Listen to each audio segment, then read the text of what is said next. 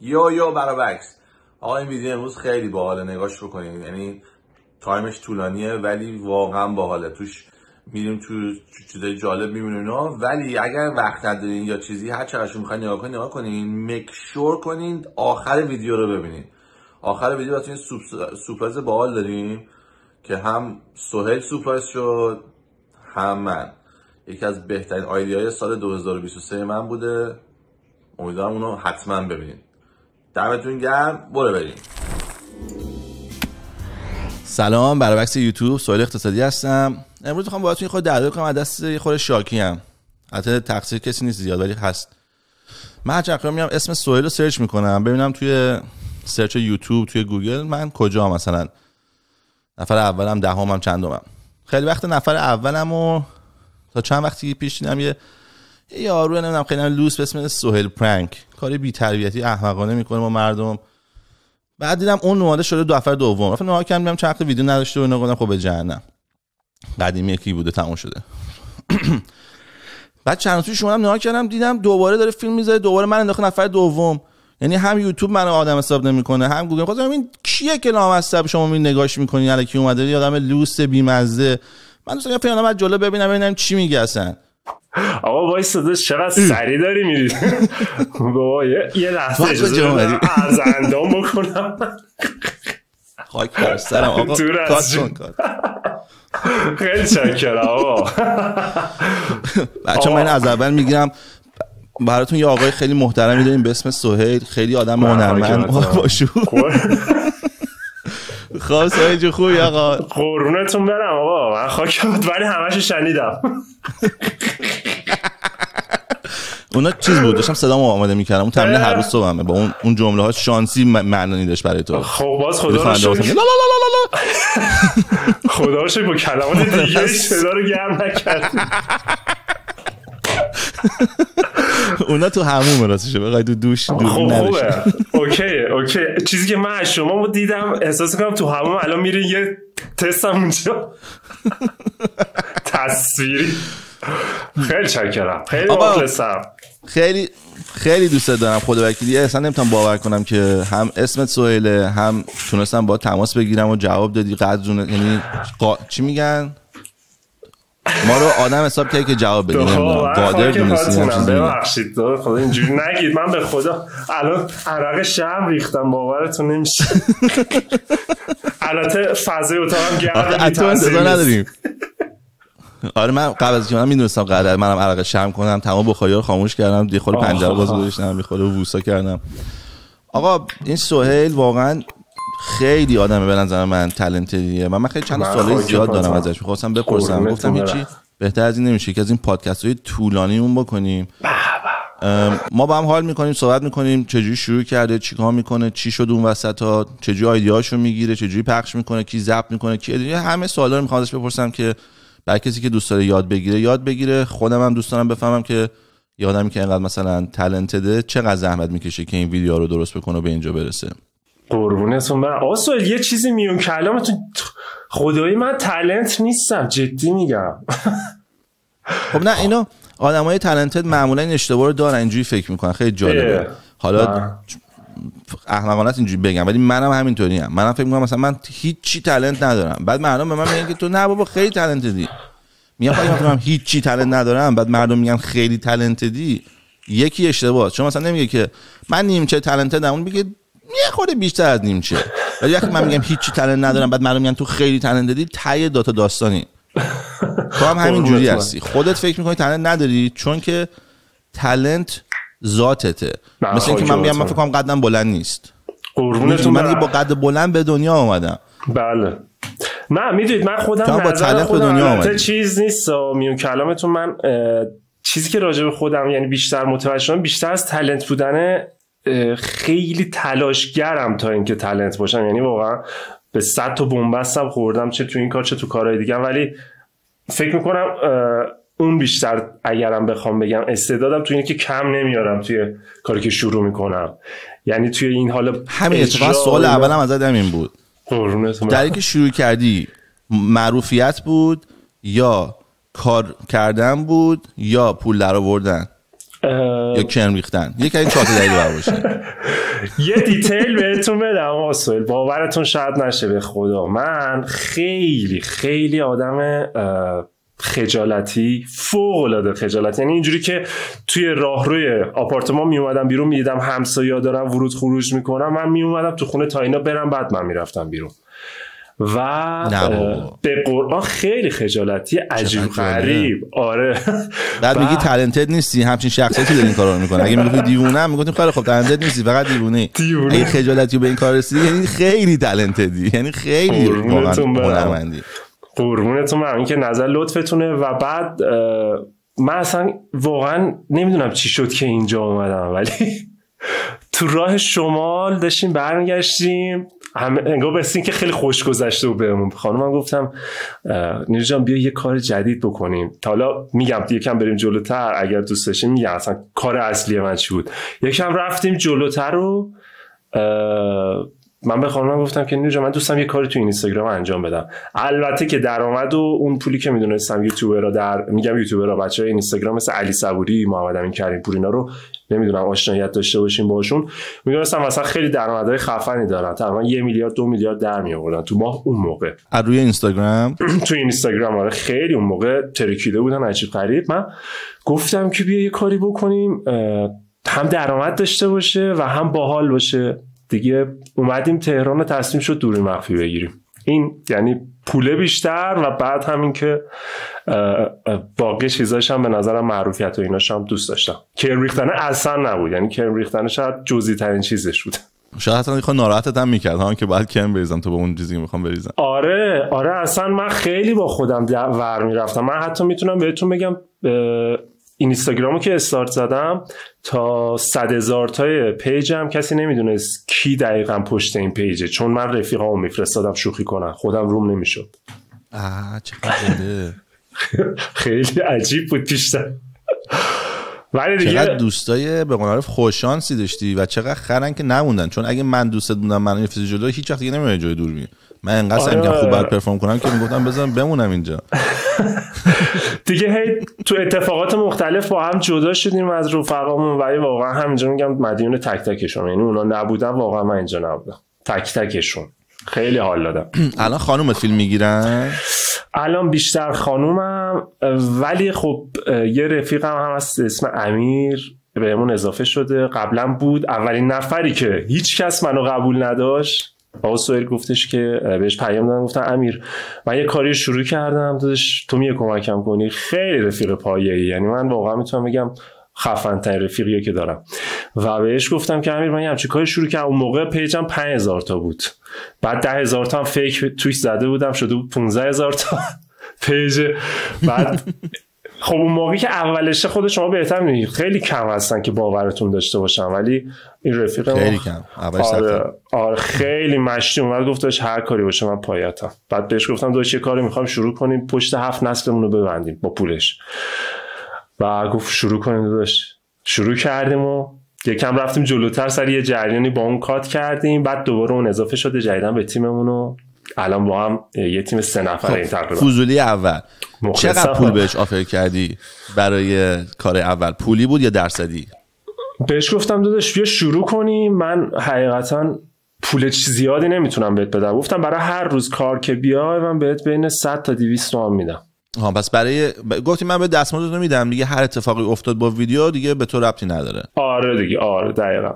خب اینو بچه اینو من گوش بدین این خیلی راه خوبیه. به خاطر اینکه اگه با کسی درصدی برین بعد دیگه تو همه چی داستان باشون اینوالوین و در آینده امکان داره به مشکل بخورین. یعنی من خودم از یکی از مشکلی که پیدا کردم با بعضی بچه های یوتیوب همین بود که مثلا ما درصدی بودیم و این درصد مثلا رو اعصابشون بود. چرا؟ چون مثلا میگه آقا من ویدیو رو با سوئل چون 6 ماه پیش درست کردم. هنوز باید برام به سوئل پول بدم. چون بعد من حساب کنم تو ماه چقدر درآمد بشم. مثلا همین یه خورده می رو اعصاب. و این خیلی راه درستیه به نظر من که همین کاری که سوال کرد. آقا بی به یارو بگی انقدر درصد بید... نه درصد انقدر پول میدم بیا بکن.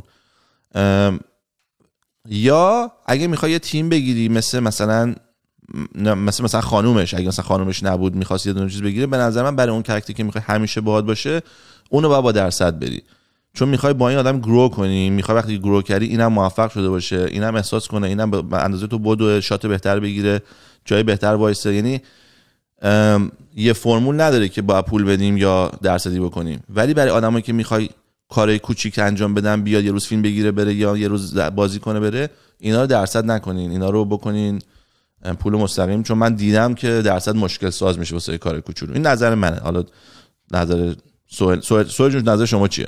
من به نظرم این اوکیه بعد مخصوصا که کاره اصلا هنوز هیچ آینده نداره. من خیلی امید داشتم یعنی می‌تونم بگم هنوز هم حالا به اون چیزی که می‌خوام نرسیدم ولی امید 100 درصد داشتم. یعنی یه جوری قطعی گفتم داداش ما اصلا به چیزای خفنی می‌رسیم به لامبورگینی به فراری. خیلی پر گفتم بهش. ولی آره دقیقا همینه. اگر بیاد اول یه کاری هم که هنوز استارتش به صفر نشده جا پاش بخواد اینقدر قوی مثلا طرف درصدی باش بری جلو چه از اون ورش هست که اگر بگیره یهو اتفاقی میفته توی حالا این درصد طرف میگه آقا اون موقع من اینجوری گفتم الان نیستم این درصد باید بیشتر بدی. طمع اتفاق میفته از اون ورش هم هستش که خب شما هیچ درصدی از هیچ پولی در نیاوردی می‌خوای به طرف بدی و هی عجیبت میره دیگه. هی عجیبت میره. منم اینجوری دیل کردم که گفتم با بیا من روزانه با حساب می‌کردم میشستیم می‌گفتم آقا این جلسات اومدی این پولو همه چی حالی جلو. اون موقع دلار چقدر بود؟ یاد میاد 3000 تومن وقتی شروع کردی؟ نه سه نبود. من چهار سال پیش شروع کردم. فکر کنم سه. آره سیزده اینا بود. سیزده اینا بود یادش بخیر. من یه داستان سر از این بگم. من بابام اه، شعبده بازه یکی از کاری که بلده اینه که پولو بده. یعنی پولی که اینجوری تبدیل می‌کنه به. این شعبده بازیشه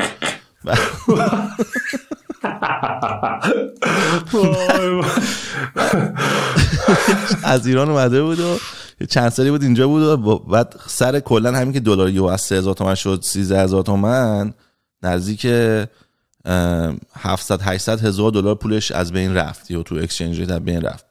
چیزی که باقی موند و برداشت آورد اینجا خب؟ آورد اینجا و دیگه تو حساب بانکیش بود. بعد یه روز من شنیدم که بعد من این پولا رو آره من پولا دست من بود گذاشتم توی حسابی که بهره می‌گرفت. بهره خیلی کم مال کانادا دو درصد. ولی گفتم خب باشه اونجا بهتر از این که دیگه از صفر باشه. ولی دلیل اصلی این بود که بابام باش شعبده بازی نکنه. خلاصه بابام به من زنگ زد که گفت آقا من می‌خوام تو کار شعبده بازی و اینو می‌خوام بفرستم ایران. میگم چرا؟ گفت الان دلار شده 13000 تومن. من میفرستم ایران. بعد دلار برمیگرده به دلار 5 6000 تومن. اوه. بعد اون موقع دوباره دلار می‌گیرم برمیگردم اینجا پول تقریبا دو برابر میشه یه نوسانگیری ریز. پدر من شما. آره گفتم بابا کلی از 57 تا الان فقط رفته پایین. چرا فکر کنی الان بخواد بره بالا؟ این چی- توهم چی الان؟ نه نمیشه و این برجام درست بشه. اتفاقا عوض میشه و نمی‌دونم. دلار دلار به 25 تومن برسه کشور میپاشه. اصلا دیگه نمی‌تونه کشور باشه. گفتم بابا همین مزخرف راجع به 600 تومن گفتی راجع به 1200 تومن گفتی راجع به 3000 تومن گفتی راجع به 10000 تومن گفتی. من قسم می‌خورم این دلار به 50000 تومن می‌رسه. بعد نگاه می‌کردم اصلا این آدم احمقم. دیگه چه تو پرت اصلا چی میگی؟ اصلا هیچی از اقتصاد تو نمی‌فهمی واسه ما قیمت دلار میگی. گفتیم okay تو قبول تو. خب خیلی خوب پولا رو بفرست من می‌خوام چیز کنم بفرستم ایران. بله. گفتم okay. پولا رو نفرستادم. دو روز سه روز یه هفته هی دووندمش. هی گفتم فلان زدم دو روز طول داره تا بیاد. فلان. همش هی داستان درست کردم. خلاصه دیگه یه از یه هفته شد زنگ زد به من عصبانی داد و بیداد که آره دلار الان شده 11 هزار تومن. ببین تو آردی به من ضرر زدی. من موقع دیگه پولم دو برابر نمیشه. من اون موقع دو از مثلا به 6 تومن میسی دو برابرش میشه 13 الان دیگه دو برابر نمیشه. و تو نه کن تو تنبل بازی در میاری اینا. گفتم اوکی اوکی اوکی همین هم بعد میفرستم همین میفرستم دوباره نفرستادم آقا نفرستادم دو روز دیگه دلار برگشت 13 15 اوه، اوه، اوه. بعد الانم که دیگه مثلا 35 بعد بهش میگم یعنی اگه من تو زندگی نبودم دو سال پیش دوباره یه دونه 70 درصد دیگه بعد اینکه 80 درصد پولت از بین رفته دوباره خود یه 70 دیگه ازش بکشی بیرون. خیلی جالب بود خلاصه. شانس آوردن این دلارا برای من دقیق می‌دونم چنده که موقعی. الان که 44 ایناست درست میگن 44 شده واسه آره دیگه. داره میشه 50 دیگه همچنین من گفتم دو سال آره، پیش. آره. خیلی یو. طبیعیه. اصلا من نمی‌دونم چرا عجیبه برای مردم. هر چند وقت یه بار 10 برابر میشه. دقیقا دقیقا. الان که تو این اتفاق. دیگه 3 تومنه بعد بشه 30 تومن. 30 تومنه بعد بشه 300 تومن. هر دفعه هر چند هر 4 سال یه بار 10 برابر میشه. از روزی که من اومدم کانادا. روزی که من اومدم کانادا دلار 200 تومن بود. یا 300 تومن. تو زندگی شما هم تاثیر داره؟ اون ور اصول یا نه؟ که نه هیچی ما. اصلا رفتی. من چون. از روز اول این صحنه رو دیدم بله. گفتم من نمی‌خوام هیچ چیزم از نظر مالی با ایران قاطی باشه و بله. هیچ وقت رو با ایران نکردم حتی وقتی کمپانی جوهر هم داشتم خیلی به موافق کردن که آقا بی جوهر تو بفرست اینجا ما هم اینجا بفروشیم تو فقط فروشش با ما تو فقط جنس تو بفرست اینا گفتم نمی‌خوام خوب چون می‌دونم. کانتینر سومی تلفن من می‌زنن که آقای شاهپوری آزاد نمی‌کنه جنسو گفته پسرش یه دونه پراید می‌خواد و تا جنسو آزاد کنه وگرنه جنسو آواز نمی‌کنه. خوراک چیزای ایران دیگه. من گفتم من حوصله این کارا رو ندارم دادا. من با ایران کار نمی‌کنم. ببخشید من یه داستانی وسط گفتم شواهد روزی آه. بابامو دلار بکنم خب، بعدش دیگه گفتین- انقدر جدی گفتید. گفتم چه خوب به کارش دور مخفیه ما هم میان. باور نمی‌کنی بیا بهش پول بده ببین مثلا چیکار می‌کنه. خب حرفه ای تو کارشون. خیلی اصلا نمی‌تونی باور کنی. از ایناست که آسینش هم می‌زنه بالا نشون میده میگه فیلم هم بگیر. هنو نمی‌فهمی چیکار کرد.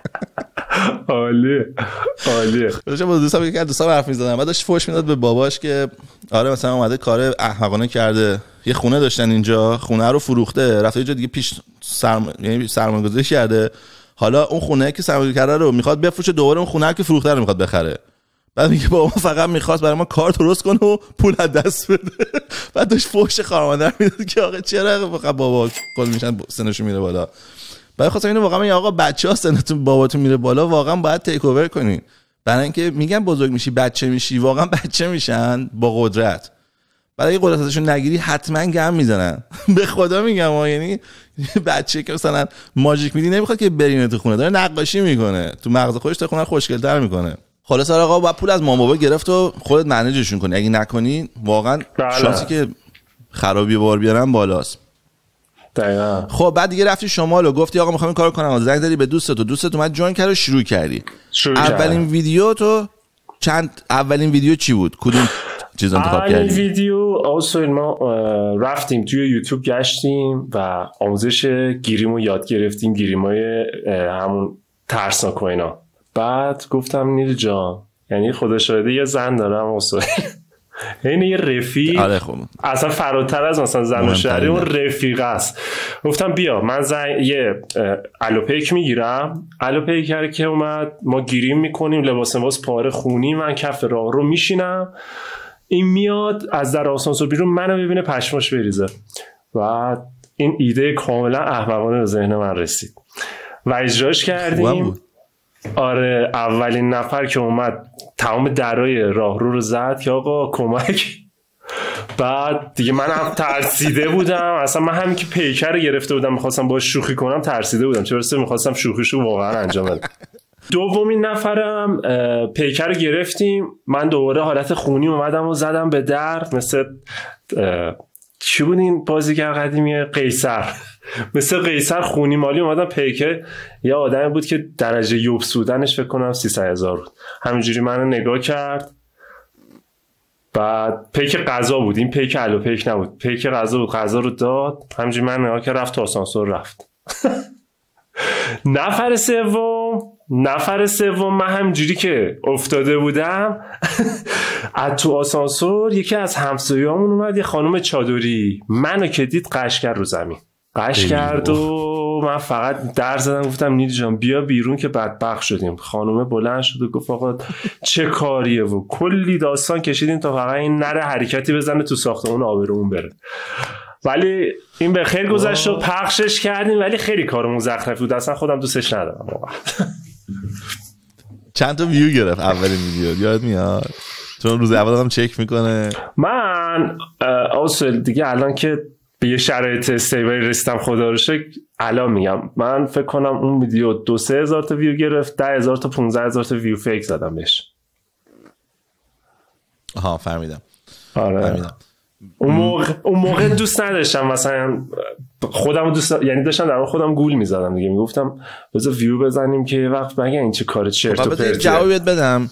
کاش اون ج... اینو اون موقع بهت گفته بودم. یه یارو داشت توی تلویزیون توی تیک تاک ویدیو گوش خیلی حرف قشنگی زد. بله. گفت من از شیرینی درست کردنم فیلم گرفتم گذاشتم آنلاین.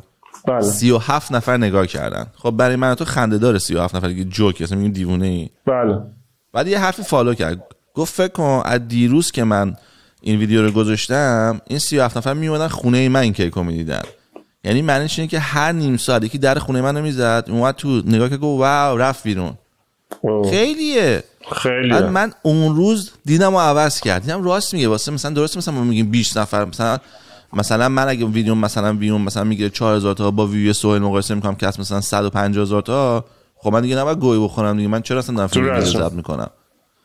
آره ولی نباید اون وری نگاه کنی. باید تو جایی که هستی و قدرشو بدونی و بیشتر امید آینده هم باشی. خب اون به خاطر غیر حرفه‌ای بودن صبح هست که آسوه خاطر غیر حرفه‌ای بودن آره. هست دقیقا. امروز صبح همین رو به خانومم گفتم. خانم من ریلتوره کار داره کار رو انجام میده. بله. بعد بهش گفتم که آقا مثلا ویدیو بذار مردم می‌خوام بدونم من حوصله ندارم برم بدم من مثلا خونه چنده ولی تو برو بکن این کارو هم تو چیزی یاد می‌گیری. هم من در آینده پیدا می‌کنم به تو وصل میشم که ببینم مثلا تو ونکوور چه خبره خونه. بله. من شروع. کرده زحمت می‌کشه خب لباس میپوشه میشینه تو ماشین میره آدما رو چک می‌کنه نمی‌دونم ویدیو می‌گیره میاد خونه درست کار داره دیگه. بعد مثلا می‌گیره چه می‌دونم 80 تا ویو. بله. بعد خیلی ناراحت بودم اون صبح. می‌گفت اصلا می‌خوام دیگه نکنم. گفتم دیوونه 80 تا ویو یعنی 80 نفر آدم حتی اطلاع گرفتن. دیوونه ای؟ واسه یه. نفر باید خوشحال بشی چه اینجوری فکر می‌کنی؟ بعد اونم مثلا شار شد. همین الان که داشتیم ما حرف زدیم آب سفارش دادم آبو داد و رفت. که برای یه خونه فیلم بگیره عکس بگیره بذاره. واسه همین آدمایی که ویوتون کمه واقعا سرد نشین. مهمترین چیز این سرد نشدنه. حتی آره، نفر آره. اول یوتیوب که الان مستر بیسته میگه من پنج سال اول ویدیوام بالای هزار تا نمی‌رفت. پنج سال نه فاکین پنج روز پنج ماه. دقیقا. الان نفر اول یوتیوبه. واسه همین اینو خیلی مهمه که consistent باشین و برسیم. خب بعد دیگه وی رو زدی و اومدی بالا و یواش یواش دیدی مردم دارن چون من که دیدمت انقدر خوشحال بودم که پیدات کردم و همش آرزون بود که دیر پیدا کرده باشم که مثلا دو سال ویدیو باشم می‌تونم برم نگاه کنم. می‌فهمی انقدر برم. خوشحال بودم. و نمی‌تونم. بگم آخرین نفری که بعد از تو یا قبل از تو همچین feeling ی بهش کی بود. واقعا نمی‌دونم. قربونتون برم. منو می‌کنید. واسه همین تو خیلی جای خوبی هستی. یعنی قدر. کارتو بدون فداتون بشم. هشتگ حسودی به توان دو. نه من که قربونتون هم کوچیک شما ولی واقعا چیزی که میگید هست به خدا باورتون نمیشه. من همین اه، چیزها رو حالا میگم ولی چون ایمان داشتم آسوئل گفتم من این کار رو شروع می‌کنم و مثل یه موقعی هستش که شما از در خونه میاد بیرون مطمئنید می‌رسید مثلا به پلن ای که چیدید مثلا از شریعتی میاد می‌خواید برسید تجریش. ایمان رسیدنم به این اتفاقی که الان در حال حاضر هستم. البته اولشم و الان بعد چهار سال تازه اولشم. یعنی تمام این چهار سال رو تجربه می‌بینم. ایمانم مثل همون لحظه است که شما میاد بیرون میگید آقا من میرم. سوار یه مترو میشم میرم تجریش. یعنی انقدر رسیدنه رو بهش باور داشتم و دقیقا همون چیزی که شما میگید. اومدم جلو هی اومدم جلو پیشرفت پیشرفت پیشرفت اتفاق افتاد. که الان مثلا میگم انقدر تو جایگاه رسیدم که خودم میام میگم. مثلا اون موقع ویو فیک زدم شدم کلا 15 هزار تا ویو یه کلیپ هم. ولی الان الحمدلله یه ویدیو دارم توی یوتیوب. فقط اون ویدیو فکر کنم برای خودم خیلی خوشحال کننده است. من که 6 ماه یوتیوب رو شروع کردم ویدیو شده 3 میلیون و 200 ویوش. و این خیلی برای من خیلی برای خودم جذابیت داره که تونستم این پلن رو انقدر بهش ایمان داشته باشم که از سال اول چهار سال بعدم رو ببینم که تو اون جایگاه و حالا سال بعدم که اتفاقی بهتر و به امید خدا. ولی یه چیزی هم بهتون بگم. من یه چیزی می‌خوام بگم قبل تو بگی. جون جون. من یه کامنت رو دارم می‌بینم که مردم می‌خوام بیان اینجا کامنت بذارن که بگن سهیل داره کسای دیگر که آردی درست کردن رو کپی می‌کنه. می‌خواستم بگم که آردی جوابش می‌خوام بدم. این کپی کردن نیست. این idea گرفتنه. تو اگه نقاشی پیکاسو رو حتی کپی کنی عین خودش ارزش داره. بله. دیگه چه برسه به art ی که به تو خیابون و مثلا تو آرژانتین یکی رفته مثلا انگشت کرد تو چش یکی سهیل تو ایران بره این کارو بکنه دو چیز متفاوته. idea رو گرفته با کپی کردن رو قاطی نکنین. اگرم به نظرتون کارش تخمی هر انی می‌تونه بکنه بکنین. ها کی بعدش میاد مای در دلار پول در بیاره روزی یه ساعت کار معروفم بشه. پس اگه من نمی‌کنم اسقرم نمی‌کنه سویل داره می‌کنه بدون که کار سختیه. اینو من واقعا می‌خوام چون می‌دونم خیلی ها هیتن میگن او کاری نداره که برو کپی کن خب باحال بوده خب اوکی تو هم بکن. نه اصلا اینجوری نیستش. حالا. بخش ادامه حرفتو بزن. قربونتون برم. می‌خواستم چی بگم؟ یادم رفت. حافظه کوتاه مدت هم یه ذره. آره من گل می‌زنم که کسی می‌پرسه بگم گل می‌زنم اینطوریه من باورتون میشه اینم بگم. تو رو نمی‌دونم چی بگم. من توی بچه های واینر رو کسایی که تو فضای مجازی کار می‌کنن مثل نجم الدین شریعتی توی برنامه سمت خدا. باورتون نمیشه. یعنی اینو بگم براتون معلوم آدم تمیزی هستی به رفته بودم پیش یکی از بچه های ترکیه. حالا شما شاید بشناسید. اسمش موجان آرایشگر آقا سپهروینان اه، نمی‌دونم بشناسی موجان باربر. بعد رفته بودم می‌گفتم آجی من تا حالا نه لب به سیگار نه گل نه قلیون نه مشروب نه آبجو نه. دختر باز بودم اولین دخترم که آشنا شدم باش ازدواج کردم. می‌گفت حاجی تو سوبر خار مادری. حالا مثلا نمی‌دونستم سوبر یعنی چی. برای همین من مثل نجم الدین من شریعتی من مامانم چون صابره آدمای صابر رو دوست داره حتی مامان من قرص بازه. قرص داروخانه می‌زنه فکر می‌کنه صابره. من اونم مامان من شما فقط چون این تو تو صابر واقعی دیگه. ولی مامان من صابر فیک من قرص بازه برو خوش نمیاره. خب حالا بعد سوال بعدی این بود که چرا به نظرت انقدر مردم ایران عصبانی هم داشتم ویدیو تو دیروز نگاه می‌کردم. یعنی مردم فقط منتظرن که مطمئن شن. تازه نه 100 درصد 75 درصد مطمئن شه که تو داری اذیتش می‌کنی می‌خواد تو رو بزنه. physically میاد می‌زنه فلان بیسار بعد هم by the way تو یوتیوب دیدم تار می‌کنی. خواستم بگم تو تاری هم باز معلومه. یعنی یوتیوب بیاد بهت گیر میده. جدی؟ واسه همین یا تارترش کن. آره. چون که داره نشون میده چه اتفاقی میفته آدم نوعی می‌تونه بفهمه چیه. کامپیوتر نمی‌تونه بفهمه. ولی یه روز آدم بیاد edit ش رو نگاه کنه قور می‌زنه. میگه که این بلگیر میده. حتما حتما. دم شما گرم گفتیم. حالا یه کاری با احتمالتر کن. مثل بتمن و اینا بکن. دیدی تو بتمن میاد مش بزنه صحنه که مش می‌خوره کل تلویزیون میزه بنگ! بعد میاد چک بزنه میگه چلپ. تو اون لحظه که یارو می‌زنه اون لحظه رو شلپ بکن. یعنی مثلا این صحنه میاد شلپه بعد صحنه بعدی دستش داره برمیگرده. اونو اجازه میده یوتیوب. خب همین کارو می‌کنم می‌خوام به اول بپرسم وقتی میری بیرون تو که انقدر بزرگه رو کجا با چسب میبندی به پات که تو دوربین نیفته؟ اولا. دوم من فیلینگت با مردم بگو که بهش سه بار میگی آقا ببخشید گاه خوردم. ولی هنو داره می‌زنه. یعنی اصلا مگه میشه انقدر عصبانیت؟ عصبانیتشون که مشخصه دیگه. مثل چیز میمونن سوهیل مثل زودفز اون لحظه آخرش که دیگه یعنی سوتو می‌کشه می‌خواد بوم بتره که مردم ایران تو اون شرایطن. دیگه واقعا چی نیست که بهشون فشار نیاره. اقتصاد هست خانواده هست جامعه هست. خود همین استحکاک های تو خیابون رانندگی ها یارو میره یه خرید می‌کنه تو پاچش یه چیزی می‌خواد بفروشه نمی‌خرم میره رو مخش. همش هست. یعنی همه اینا اون آستانه ترکیدن مردم رو برده بالا دیگه. من خودم پیروز یه استوری گذاشتم گفتم آقا نمونه بارز احساس مستقیم عصبانی بودن مردم ایران رو من چشیدم. یعنی فکر کنم هیچ اندازه من نچشیده باشه. خیلی عصبی هم فقط فکر می‌کنم صرفا نه به خاطر یه سری چیزای کوچیک به خاطر خیلی چیزایی که فشار روشون زیاد کرده. خیلی. و راجع به اون سال بعدیتون هم که گفتین اونا رو کجا می‌ذاری؟ چه چسبی استفاده می‌کنی؟ من چست و قلو رازی چسب وطنی حمایت از تولید ملی. یعنی بهترین جواب بود. هم چسب دوقلو هم راضی. یعنی اصلا هم وطنی و حمایت از تولید. داخل.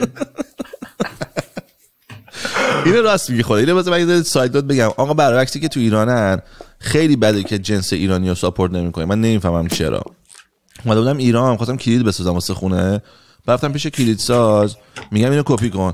میگه کلید ایرانی 5000 تومن کلید خارجی 20000 تومن. یعنی آ... کلید اصلی خالیه. میگم خب کلید ایرانی بزن. میگه آقا خارجی هم داریم ما. میگم شنیدم. ایرانی بزن. میگه به کلاس شما نمی‌خوره ایرانی استفاده کنی. می‌خواستم بکشم خودم اون لحظه. یعنی چی؟ بعد بهش گفتم گفتم چقدر آدم احمقی هستی. بله. من باید بگم خارجی بده. تو میگی برای چی خارجی می‌خوای؟ وقتی یکی 75 درصد ارزون تر مال ملتمون دیوونه ای داری می خارجی رو ساپورت می‌کنی.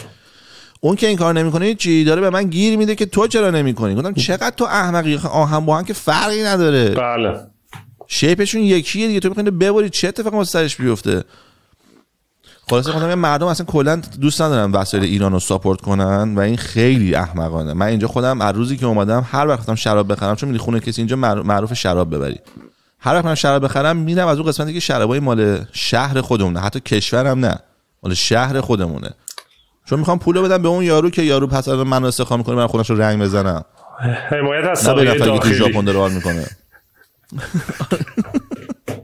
نمی ترسی این مرده داره میاد با خامه می‌زنی تو صورتش بعد یا دنبال میدوه برای سی ثانیه بعد اول حرفت بشینه که خامه میقلی یعنی اون لحظه خودمو بکشم خنده جدا میترسم اصول من خیلی باورتون نمیشه. من یه دونه تار موی سفید تو سرم نبود اومدم تو این کار.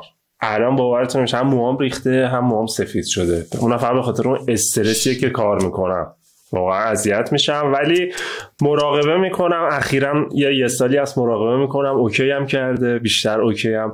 و دیدگاه هم موقع اجرا عوض کردم. یک با این دیدگاه میرم که قراره یه چیزی بسازم مردم ببینن خوشحال بشن بخندن. دو اینکه قراره که یه کار فانی انجام بدم تاشم قراره به طرف یه پولی بدم. همون خوشحال بشه هم من خوشحال بشم. همه چی برد برده. با این دید میرم دیگه کمتر اذیت میشم. بعد بدترین اتفاقی تا افتاده چی؟ مثلا خامه رو زدی بعد یارو گفت بابا همین اندازه می‌رفتم مثلا خواستگاری. وقت یعنی- نداشت بری خوش. چون بچه ها نمی‌دونم اگه می‌دونی. سهیل بعد از اینکه خامه رو می‌زنه اینا نشون نمیده من تو ویدیوهاش. ازشون معذرت خواهی می‌کنه. بعد بهشون پول میده بعد بهشون لباساشون رو در میاره. بعد لباساشون در میاره چیکارشون می‌کردی؟ لباساشون در... شما اون شهری من خامه رو زدم لباس در اومده طرف تصور کنید چون می‌خواد لخشه اگه لباس داشت؟ ولی جدا ویدیو هست می‌ذارم. مثلا دختر خوشگل موش بیرونه بعد میگن دو, دو چرخ پشت چه رنگی بود. میگن که لباس داشت. ولی جدا من پول خوشی بهشون میدم. لباسشون که نمی‌تونیم در بیاریم. بهشون میگم خیلی هاشون هم نگرفتن خدا شده ولی اون وای میستم کتک می‌زنن آروم میشن. اینکه حالا من خیلی میگن داشت بزنشون. فرار کن. نمیشه یارو جری میشه و خیلی کار بدیه. بزنی و نه فرار نداره. باید حتما واسه باید تمومش کنی. اگه فرار کنی برات اتفاق مثل یه وقت یهو دیدن گرفتن انداختن زندان علیکی آره آره. آخه ما کاری هم ن... کاری هم می‌کنیم. مردم راضیان میندازنم زندان دیگه. چه بسن که کاری نکنیم. میگم دیگه. میگم دیگه. اون رو بکنی که با دلیل می‌گیرن.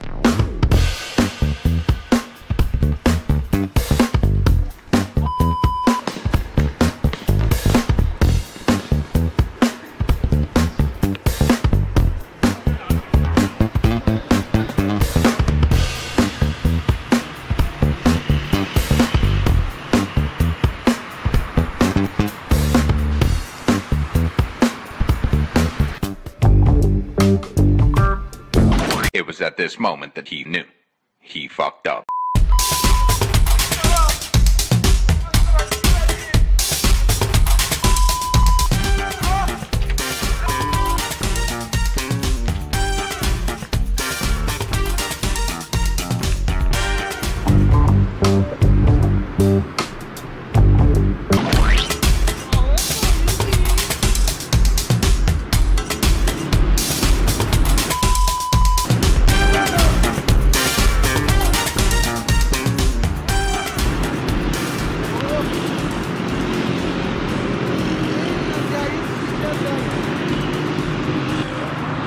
خامه زدن تو صورته؟ آره نمی‌دونم جایش کدوم آدم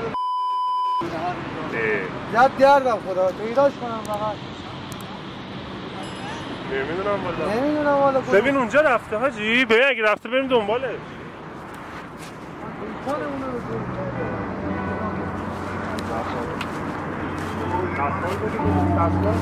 دستمال هم Bye.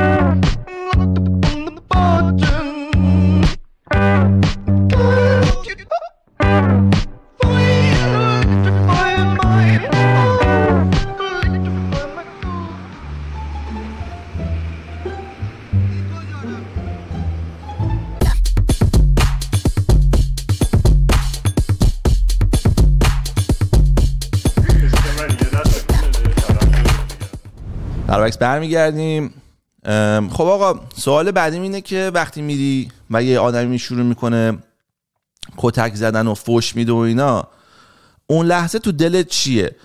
دلت میگی که آروم شو بابا شوخیه یا کاش شوخی نبود الان اصلا می‌گفتم یارو رو می‌زدم چقدر آدم احمق عصبیه. اون لحظه تو دل واقعی واقعی چیه؟ واقعا به این فکر کنم که چجوری می‌تونم فقط یارو رو آروم کنم؟ حالا با ببخشیده با اینکه بذاره کتکم بزنه. یا هر چی هر چی فقط میگم که این این چالشه رو بگذرونم. همین. تموم شه و بعد واقعا دیدنی چهره و اینا بعد اجرای هر دوری مخفی میاد چیه ذره اجازه بدید من نفس نفس چاق کنم. حال مورم خراب.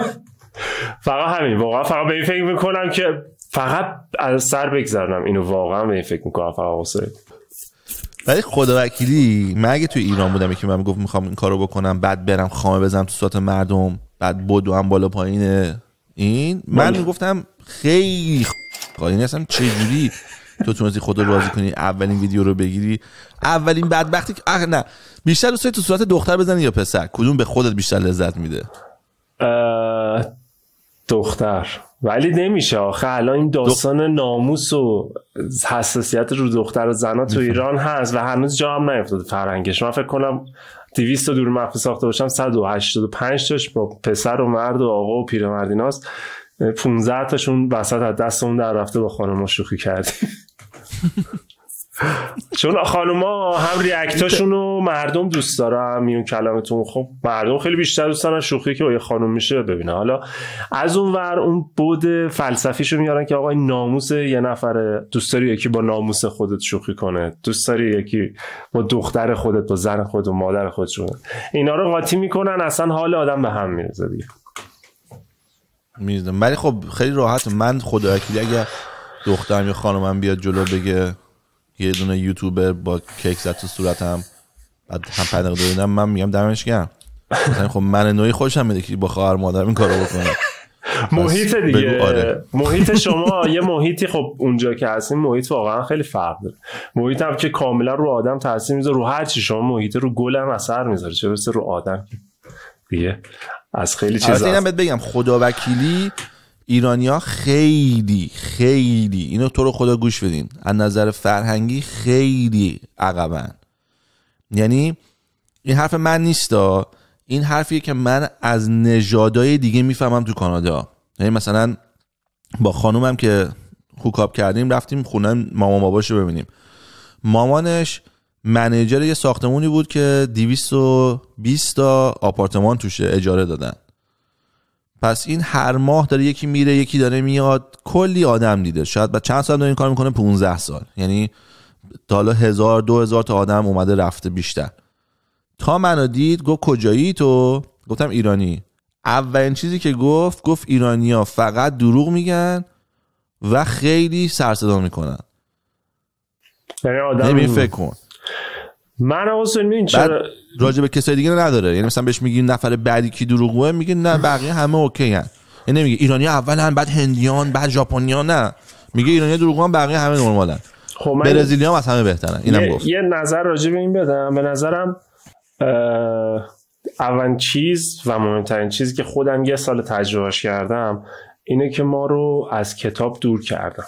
جدی میگم. الان شعار نمی‌خوام بدم مثل اینه که حالا فاز برنامه. واقعا من چون خودم از سی سال عمرم الان بزرگترین حسرت زندگی اینه که چرا زودتر با کتاب آشنا نشدم؟ چون کتاب علم و چکیده قشنگ مغز انسانهای مختلفه که می‌تونه تاثیر رو هموار کردن زندگی و مسیر شما داشته باشه. من چرا زودتر با کتاب آشنا نشدم؟ این حسرتمه و میگم واقعا اینکه ما با کتاب غریبه ایم مردم کشورمون و سرانه اون مطالعه پایینه خیلی تاثیر داره رو فرهنگمون.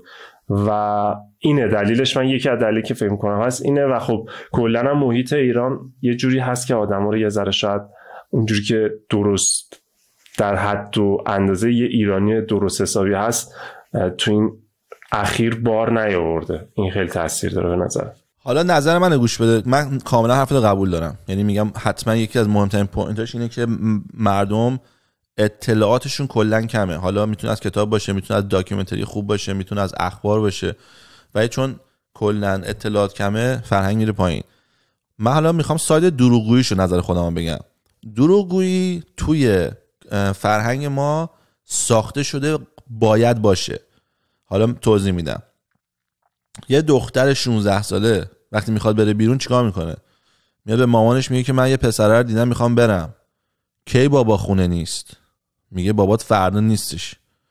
بعد که می‌خواد بره بابا میاد خونه دختره میاد خونه بعدش. پس باباش میگه کجا بودی؟ مامانه یهو میپره میگه با سارا رفته بودن مانتو بخرن.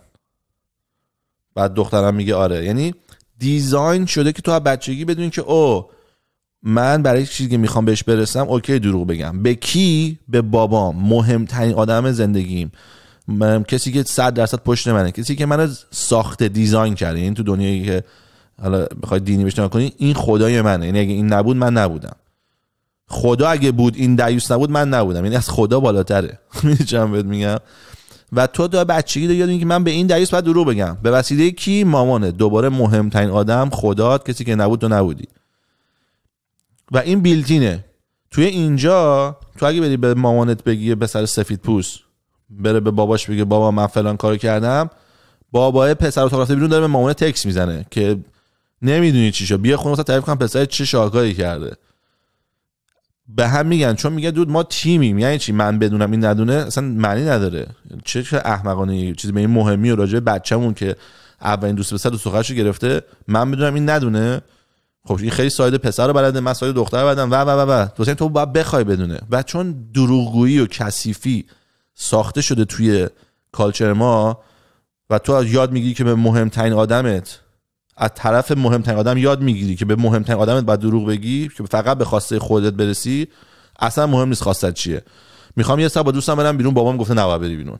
می‌خوام لباس بخرم بابام گفته نباید پول خرج کنی. می‌خوام برم پسر بازی کنم بابام گفته پسر حرامه. هر چی باشه تو دروغشو می‌فهمی. و این ساخته میشه تو دنیا همینجوری دروغ میگی. یعنی به ایرانی اصلا نمیشه باش حرف زد. بهش میگه آقا ساعت سه مثلا بیا فلانجا می‌خوام این کارو بکنیم. میگه اوکی. بعد زنگ می‌زنی مثلا یارو مسافرته. بعد میگه خب چرا پس قرار می‌ذاری اون لحظه؟ چرا این کارو می‌کنه حتی قرار حالا مثال خوبی نیست. ولی کلا همین مثلا اینا که خونه می‌گیرن. میاد خونه می‌گیره میگه چند می‌خوای بمونی؟ میگه سال. با ظرف دو ماه میگه می‌خوام برم. خب آقا چرا دروغ میگی؟ بگو دو ماه ما با هم دیل می‌کنیم. من وقتمو درست می‌کنم سر دو ماه دیگه کی ستاپ می‌کنم بگیره چرا به من دروغ میگی؟ چون فقط می‌خواد خودش راحت باشه. اصلا براش مهم نیست نفر بعدی. بعد میگه دو تو من بابام تو که انیکی. یعنی من اینو می‌بینم که تو مغز مردم اتوماتیکی هر روز داره پلی میشه که بابا من به بابام چرت و پرت میگم. تو واسه چی به دو دروغ نگم؟ ولی درست میشه. نظرت این- چیه؟ این به نظرم آخه یه مقدار خیلی ریشه داره. من حالا میگم اون بحث فلسفی هست میگم که چون خیلی پارامترها دخیله توی این چیزا. یعنی مثلا اون پدر مادره از یه جایی اون دروغه بهشون حالا عادت پیدا کردن که بگن. فرقی نمی‌کنه. مدرسه هست پیش پلیس هست همه, جا هست. همه جا. یعنی پارامترهای مختلفیه. ولی باید واقعا ایمان پیدا کنیم. اولا که میشه تغییرش داد و دوم که اه، اون برچسبه رو یه کاری کنیم واقعا رومون برداشته دیگه. اگه واقعا توی دنیا شاید من حالا خیلی دنیا دیده نیستم نهایتا یه ترکیه رو همین بغل گوشم رفتم ولی من میگم این لیبل رو باید یه کاری کنیم. برداشته شه دیگه. حالا می‌دونیم خراب اوضاع خرابه ولی هر کسی از خودش شروع کنه واقعا حتی دروغ گفتنه رو. اون قبهش چون ریخته یه ذره سخت جمع بشه ولی به نظرم میشه. میشه چون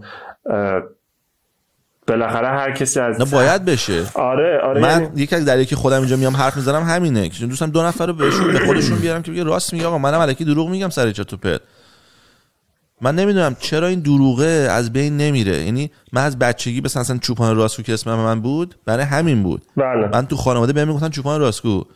چون یادم اولین باری که اتفاق افتاد رفتیم اسکی که- بعد من نرفتم مدرسه چون اسکی می‌کردم بعد بابام گفتش که میری مدرسه بگو مریض بودم. رفتم مدرسه معلم گفتش چرا نیومدی؟ گفتم والا من رفتم اسکی. ولی بابام گفته به تو بگم مریض بودم. بعد زنگ زدم به خونه مام بابام کشیدم مدرسه. گفتم من که بابا تو ایران همه دروغ میگن. یه بچه داریم دروغ نمیگه چرا دارین زورش می‌کنین دروغ بگه این که خودش نچوی نمیگه نکنین این کارو باهاش. بله. که بعد بابا مثلا همین تعریف کرد که مثلا سهیل ما رو بی‌آبرو کرد. عادت شده میگم؟ یعنی اصلا دیگه ساخته آره. انتظاره. یعنی منتظرم بچه بلد باشه دروغ بگه. من اصلا دوست دارم بچه دروغ بگه. عادت شده و این عادت بدی هم هست ولی ایشالله هر کسی از یه سررشته ای از این راستگویی و عادت دادن به نفر بعدیش رو پی بگیره به نظرم درست میشه. بالاخره این حرکت جمعی اتفاق میفته درست میشه ایشالله. من که ایمان دارم همه چی درست میشه. به خدا نه دست آدم هاست. بشم نگاه کن. تمام کالچر دیگه تقریبا اینو فیگرات کردن که آقا دروغ فقط کسافت و بدی میاره. مثلا توی ایران توی ایران بودم یه یارو اومد به من گفتش که یه یارو اومد به من گفتش که رفتم تو مغازش مغ... تو پاساژ تجریش قائم.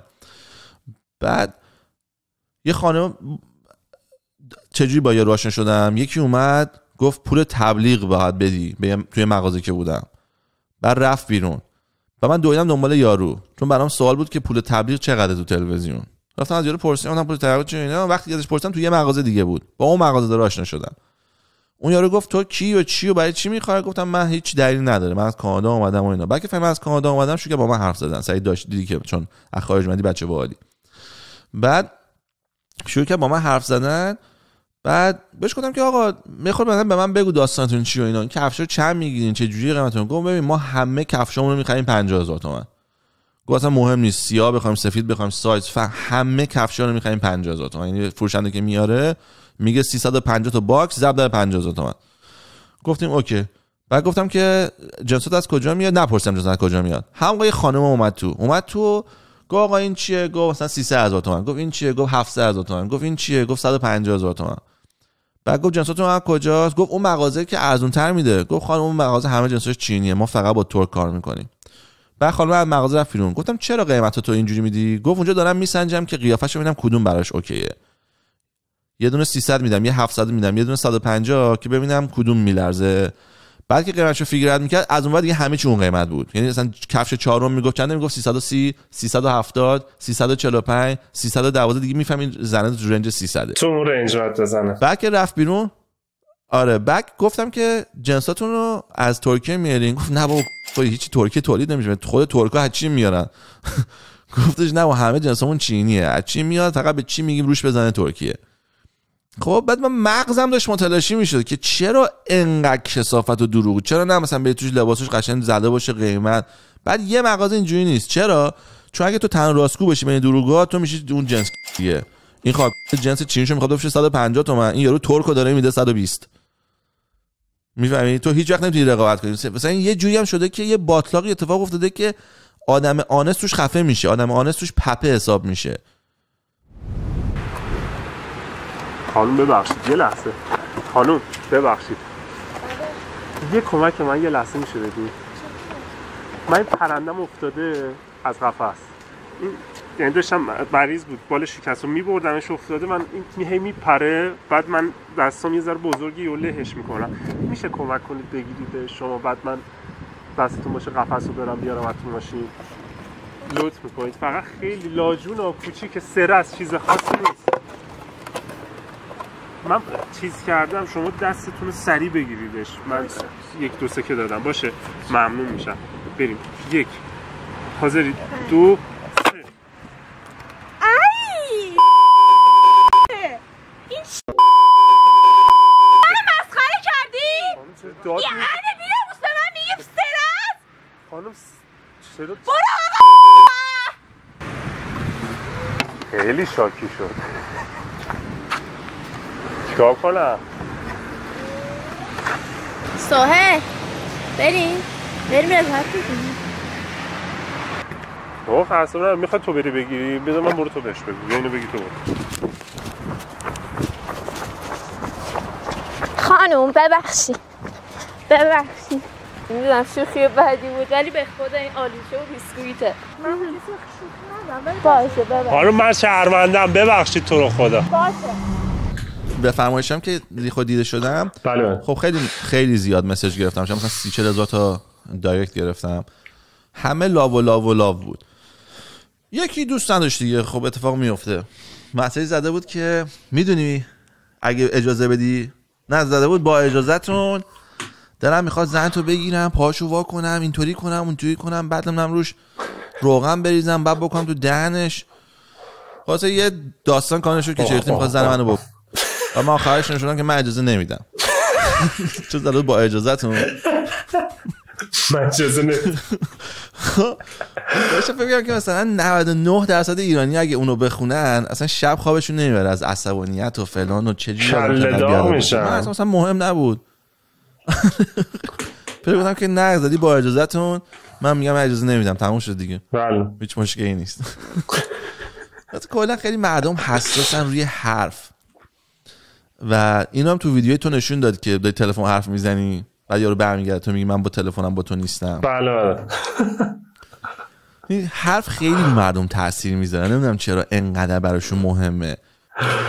چه زاویه دید جالبی دارید آقا سویلا جدی میگم. من قبل ویدیو داشتم می‌گفتم که دو نفر تو زندگی به نظرم چیزی که حالا من دیدم خیلی خودشونن. یعنی محاله که چیزی چون رفتم ویدیوهاتون رو دیده بودم و یه سری جدیدشم رفتم. دیدم دیدم شما چقدر همه چی رو رو صحبت می‌کنید. بعد یاد امیر تسلو افتادم. گفتم آقا سهیل و امیر تسلو واقعا جزء سوژه‌ای که هرچی هستن رو نشون میدن دیگه. اصلا هیچ بک و هیچ نقاب و داستانی ندارم. و خیلی جالب بود برام. گفتم اذیت نمیشید؟ از این یعنی تو زندگیتون اوکیه؟ اذیت میشم من نه از این راستگویی و خودم بودم از نفهمیدن مردم اذیت میشم. یعنی اکثر آدما که نه اکثر آدما شاید بگم 100 درصد آدما که منو می‌بینن بعد از اینکه ده دقیقه با من آشنا میشن میگن که یه آدم بیشور یه آدم نفهم یه آدم بیتربیت. آره به من به آدم بیشوره نفهمه آه و دروغگو. دروغگو اولین چیزیه که میگن این یارو دروغگوه. چون کاری که مثلا کردم و اینا انقدر غیر عادیه مردم باور نمی‌کنن. داشتم دفعه برای سوال تعریف می‌کردم داشتم صحبت می‌کردیم. برای اینکه بفهمی من چقدر خودم فکر کن توی مدرسه توی های اسکول ورداشتم برای 6 ماه موهای پشمامو زدم جمع کردم توی کیسه. بعد بعد 6 ماه اومدم تو مدرسه شروع کردم ریختن رو سر بچه ها اینو. رو سی تا بچه سی و دو تا دقیقا. ریختن در رو بستن نداشتم کسی بره ب- اینو ریختن رو سر همه بچه ها بچه ها همه فوش و جیغ و زیر میز قایم شن و فلان و بسار. بعد من اینو کاملا یادم رفته که من این کارو کردم. بعد یکی بعد اینو واسه من توضیح بده. بگه یاد میاد این کار کردی؟ بگم نه. بگه وا دیوانه این احمق کار زندگی منه که دیدم یکی بکنه. چجوری خود یاد رفته؟ چند سالگی؟ چند سالگی؟ مثلا 15 یا 16 پرام چه حرکتی.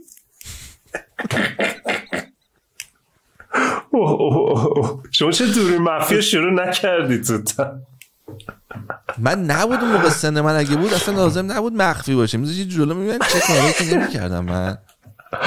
من اصلا میگم کاری که پشن بیزنس رو من ساعت مدرسه رو عوض کردم. مثلا تو کیو یعنی می‌شناسی چی؟ تو فیلم ندیدم چه اتفاقی افتاده باشه. من مدرسه‌ام ساعت دو نیم تعطیل می‌شد. کلاس زبانم ساعت دو نیم شروع می‌شد. من هر روز یه رو دیر می‌رسیدم. معلم زبان منو بود. هر چی میشونم خب آقا مدرسه می‌گفت به من رفتی باید راه حل پیدا کنی. من گفتم اوکی ما راه حل پیدا کنیم رفتم مخ تمام مدرسه رو زدم. به علاوه تمام بچه ها یعنی تمام معلم ها و تمام بچه ها که همه راضی باشن پنج دقیقه از حد زنگ تفریح بزنیم. به بله. جاش یه رب زودتر تعطیل شیم یا نیم ساعت زودتر دو یا دو رب تعطیل شیم. دو رب بچه. یه رب بعد قبول کردم. بعد ساعت مدرسه عوض شد. شد دو رب تا وقتی من کلاس زبان می‌رفتم. من. کلاس زبانم که تموم شد ساعت مدرسه برگشت به دو نیم.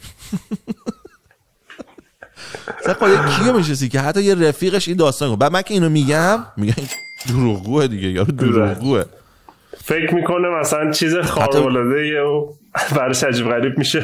میگه دارن دروغ میگه. ولی الان مثلا یوتیوب اگه تو نگاه کنی من فالوورام کمه 20 هزار تا بیشتر ندارم. آقا امروز 19 هزار تا تک تکتون رو میبوسم مرسی. مبارک سوال که اصلا نمی‌دونی عدد یعنی چی. سوال زیر 6 عدد اصلا نمی‌فهمه. ببین 100 هزار اگه تقسیم برای 5 کنیم میشه یه خود بیشتر از اونی که من و هستم خاک متوجه شی. اذیت نکنید. من کوچیک شما. عدد همش. پول مهمه. آره ولی الان کسایی که منو follow می‌کنن اونایی که واقعا منو شناختن. یعنی میگن okay این آدم غیر عادیه یکی یه کامنت یه ویدیو دارم با نیکی دارم راجع به صحبت می‌کنم. یکی زده که خیلی بی تربیتی از سنت خجالت نمی‌کشی. بعد یکی زده دادا اگه اومدی تو کانال استوری اقتصادی ادب و اینا یاد بگیری جای اشتباهی. داداش اشتباه زدی اینجا نیست جاش. اینجا هیچ مرزی وجود نداره. چی ببین. اینجا فقط کسافت کردی اینم راست میگه. شما جای اشتباه هستی. اینا که میان توی ویدیو فوش میدن خیلی برای من عجیبه. میگن خب دود دنیای ویرچواله. من نگفتم تو بیا اینجا. تو اینجایی. اگه حال نمی‌کنی دکمه بزن بگو. اینستاگرام. این من دیگه نشون نده. دوست هم میگه اوکی دیگه نشون نمیدیم. این که باید بیاد به من بگه به نظر من تو خب تخمم. دیگه می‌بینی آره اینقدر فالوور دارم خوشحالن. پس بفهم که یه چیزی دارم که آفر کنم دیگه. بازم اینو. نمی‌فهمه ولی باید به اونجا بگه به نظر من تو تو رجل ولی خب جالبه دیگه. من خودم جالبه برام. میگم چون کمتر آدمایی هستن که بی نقاب زندگی کنن و ولی خب شما میگم واقعا برام جالب بود. دیدم خود خودتونید دیگه. یعنی کامل فکر کنم هیچ چیزی از- از اون سلام علیک اولی که با هم داشتیم اون ویدیو کالی که کرد. بردین سمت خانومتون و اونا داستانا من فهمیدم که با یه کارکتر کاملا بینقاب بعد ویدیو یوتیوب بیشتر دنبال کردم. نه تموم اون قضیه مادر بزرگتون اینا رو دیدم. اصلا گفتم هیچی دیگه. همه چی رلس همه چی رلس حتی اینو بهت بگم ها یه داشتم فوش میدم جلوی مامان بزرگم. بعد گفت خجالت نمی‌کشی جلوی من فوش میدی از این میدی؟ گفتم مامان جون تو که هر آدمی جلوت هست میاد میگه سلام خانم فامیش چیه؟ بابا. بابا. سلام خانم بابا. اسم من کن تو. خانم بابا. سلام خانم بابا. خوب هستین؟ حالتون چطوره؟ بزرگوارین؟ بفرمایین. گفتم خب همه می‌تونن اینجوری صحبت کنن. یه نفر تو دنیا داری که بیاد بهت میگه چه نگو مامان جون می‌خوام اونم بهت بگه آقا سلام می‌خوای بگو بکنم. بعد یه خورده اینجوری فکر گفت نه okay.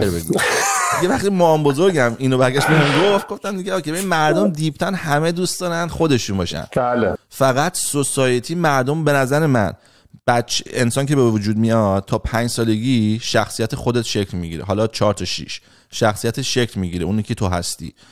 از 6 تا سی یا 25 بهتره بگم. از 6 تا 25 یاد می‌گیری چجوری خودت نباشی چجوری دروغ بگی چجوری فیلم بازی کنی که سوسایتی تو رو قبول کنه. بعد دیگه از 25 به بعد اون جاسین که بزرگ شدم. بزرگ نشدی هنوز؟ اصلا بزرگ شدن معنی نداره. تو هستی. That's it. That's who you are. یه بچه‌ای که تو سن هفت سالگی ماهیگیری دوست داره تو سن هفتاد ماهیگیری دوست داره. احتمال زیاد. می‌دونی آدما همونن که هستن. عوض نمیشن. این نظر منه که آقا تا پنج سالگی خودت میشی پنج تا 25 یاد می‌گیری خودت نباشی که سوسایتی راضی باشه. بعد دیگه با اون دو شخصیت تا آخر عمر زندگی می‌کنی. بعضی موقع اینی بعضی موقع اونی بعضی موقع وسطشی.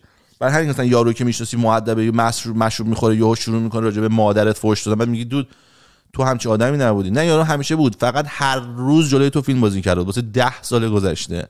مثلا رئیست بوده. واسه همین من از وقتی که بچگی اینو دیدم داستانش هم یادمه. شاید باورت نشه. یه یارو بود. من فکر کنم 6 سالم بود. خونش بودم بعد یه کارتون خیلی قوی اومده بود بیرون. حالا مثلا واسه داستان فکر کن Toys R Us نه Toys R Us که نه چی؟ Toy Story. فکر کن Toy Story اومده بیرون. خب من می‌دونم این داستان فیلم خیلی خفنه می‌دونم استوریش خیلی قشنگه یه تکنولوژی جدید استفاده شده و و و و, و. به یارو گفتم آقا بیا بشین فیلمو با هم ببینیم بیکار بود تو خونه منم تو خونه اون بودم. بعد گفت مرد که کارتون نگاه نمی‌کنه. گفتم این چه جواب احمقانه ای تو بعد بپرسی چه کارتونیه؟ بعد کارتونش تخمی نگاه نکنی. تو بدون که اصلا بدونی چیه فقط گفتی مرد کارتون نگاه نمی‌کنه. بعد گفتم خب گفتم خب چرا مرد کارتون نگاه نمی‌کنه؟ گفت نگاه نمی‌کنه دیگه. گفتم خب اگه هم کارتونش قشنگه هم خنده داره هم خیلی طولانی نیست برای چی نگاه نکنه؟ و گفت تو بچه ای نمی‌فهمی. رفت. بعد من اون لحظه بود تو زندگیم گفتم من می‌خوام تا آخر زندگیم بچه بمونم. من نمی‌خوام بزرگ بشم. اگر بزرگ شدن معنیش اینه که تو باید یه سری کارا رو احمقانه انجام بدی بدون که بدونی و حتی برخلاف نظر خود باشه باید بری. دقیقا. یه دقیقه ببخشید من که زنگ در اومد. ببینم کیه.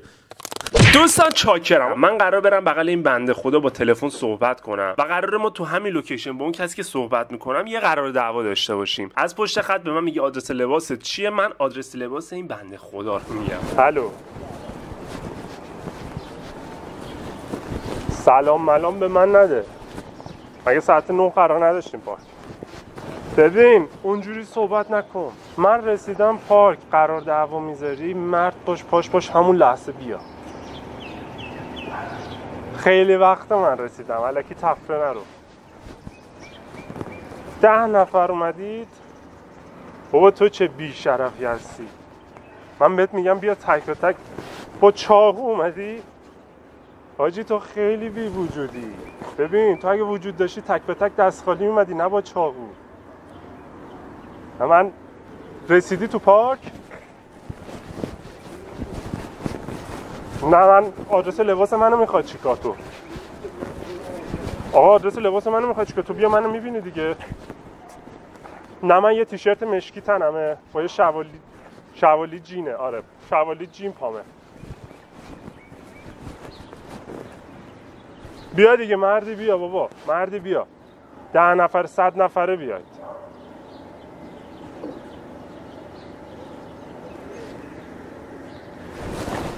تیشرت چه رنگیه؟ جمعه چی؟ تیشرت چه رنگیه؟ صورتی داشت مگه نگفتی تیشرت مشکی؟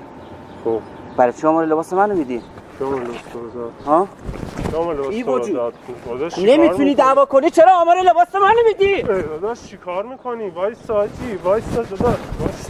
چون مثل وایس داداش وایس وایس شوخیه حاجی شوخی. بیا. بیا عشقم بیا دور دارم دور مفهومی رو بیا بیا بیا. چه اینجوری کردی داداش؟ پشمام. بجام دوری مفهومی مرض داری؟ چی کار داری می‌کنی؟ منو چرا زدی؟ من کاری ندارم با عشقم دارم شوخی می‌کنم خوبی؟ دیوانه ای؟ مریضی؟ کاری بهت نداشتم حاجی یه شوخی کردم دیگه چرا اینجوری می‌کنی ببخشید تو رو برام به جون مادرم شوخی. بود به جون مادرم شوخی بابا، نکنین این. کارا رو شما رو قرآن مجید. نکنین این کارا رو ببخشید خب من ازت معذرت می‌خوام نکنین این کارا رو ببخشید تو رو. من شهروندم نمی‌دونستم من عصبی میشه داشتم شوخی می‌کردم نه شوخی بود همش. باشه دیگه ببخش ببخش باشه. داداش من شهروندم عذرخواهی می‌کنم حق داری ولی آخه کار خاصی ده نفر نکرد با چاقو چی آخه؟ داداش کاری کسی. باید نداره من وایس صدقه بهت بگم دوری مخفیه من از تو کتک خوردم و دشمن مخفی خدایی؟ آره به جون مادرم دوری مخفیه کجا فیلم می‌رسن؟ بگم کیفر رو می‌دید اینجا رفیقم اونم لباس آبی تنش دیدیش یه دست کن امیر یه دست کن توی کیفه حاجی. موفق باشید. تو رو خدا اینجوری نکنید بابا. خیلی شرمندم حاجی. خیلی. اوکی تصویرت هم. پخش کنم. مشکلی نداره. میشه پس دور بگیم اوکی زن مشکلی مشکلی نداره. خیلی. یه بار یه دختره اومده بود از ایران سه ماه بود. می‌گفت سلام خوب هستین؟ حال شما چطوره؟ بعد این خود گفتم که خب مثلا شاید زبونش گرفته خود حرف زد گفت آه خیلی خسته شدم. گفتم دریس مگه تو نیست سه ماه از ایران اومدی؟ گفت چرا؟ گفتم چرا لهجه داری؟ گفت از کجا لهجه یاد گرفتی؟ من اصلا 15 سال اینجا لهجه ندارم. تو چجوری لهجه داری؟ بعد همونو خوب شد دختره. من لهجه ندارم کجام لهجه دارم؟ خب یعنی فقط یکی باید میرید بهش. ولی چون دنیا درست شده که نه نه با همه باید مثلا سلام خوب هستین شما بعد اونجوری تا آخر عمرش میره ولی یه دونه آدم آنست که بهش خورد درستش کرد. امروز هم که می‌بینی بعد ده سال هنوز دختره دیگه لهجه نداره. خب خیلی عالی. واسه من خیلی دوست دارم. کاش همه آنست بودن کاش همه اون چیزی که تو دلشون رو واقعا می‌گفتن خیلی رابطه ها راحت تر می‌شد خیلی. ناراحتی کمتر می‌شد. ولی دروغ درست شده که ناراحتی کم بشه ولی برعکسش شده. چون دیگه دروغی اومده تو نمی‌دونی حرفش رو باور کنی. و از اون بعد چون همه دروغ میگن هیچ حرف منو باور نمی‌کنه. این وقت من یه چیزی میگم میگن احتمالا دروغ میگه دیگه چون منم بودم دروغ. می‌گفتم پس سویلم داره دروغ میگه. دیدگاه دیگه همه اینجوری هم پس ایشون هم اینجوریه. چون ذات و نوع اصلا تفکر آدم اینجوریه دیگه. حالا اون فرموله مغزی اینجوریه که وقتی صد تا رو دیده اونجوری صد یکمی هم همونجوری فکر می‌کنه راجبش اصلا یه ذره سخت آدمی که غیر از این باشه. همین اگه بیای توی جا مطرح بشی که بفهمی او okay من بفرمای شام این کارو برام کرد. چون من خودم دیگه نمیفهمیدم که من آدم یا نه؟ چون هر کی می‌رسید به من گفت تو آدم ولی من تو deep down فکر نمی‌کنم آدم گفتم من به هیچ کی ضرر نمی‌زنم. من الان این فکر رو می‌کنم به سود همه دارم فکر می‌کنم. چه جوری من زحمت می‌کشم آدم خوب باشم ولی مردم میگن تو آدم پس شاید من بعد که رفتم تو بفرمایید شام توی کامنت ها چون خودم برام مهم بود نشستم تمام کامنت ها رو خوندم توی یوتیوب از یه فایل بفرمایید شام. زیادم هست. هان فا... مثلا ویو مثلا کامنتش نمی‌دونم 10 هزار 15 هزار تا واسه هر ویدیو. مثلا فکر کن 80 هزار تا کامنت مثلا. من تک تک اینا رو نشستم خوندم. یعنی شبا دو ساعت میخوابیدم که بتونم تموم کنم. تا دون آخرش هم خوندم. چون تو بفرمای شام یکی از دوستای خیلی قدیمی بهم message زد. گفتش که سهیل من 10 سال ندیدمت. ولی تو این چهار ساعتی که بفرمای شام بودی انگار که تو بغلم بودی. باور نمیشه تو این ده سال اصلا عوض نشدی. هنوز خودتی. بعد برای همین point هم اینه. من توی بفرمایید شام 100 درصد خودم بودم. یعنی اصلا فیلم بازی نکردم به خاطر دوربین فلان بسار تا حتی نگاه کنی مثل آدم غذا نمی‌خورم. تون تون می‌خورم چون گفتم با خودت باش. هر کاری که می‌کنی و بکن. بذار یه باره که تو دنیا داری جاج میشی. تو دنیا داری قضاوتت می‌کنن ببین واقعا اگه دوباره اومد ده هزار نفر گفتن آدم دیگه بفهم خودتو شروع کن بهتر کردن.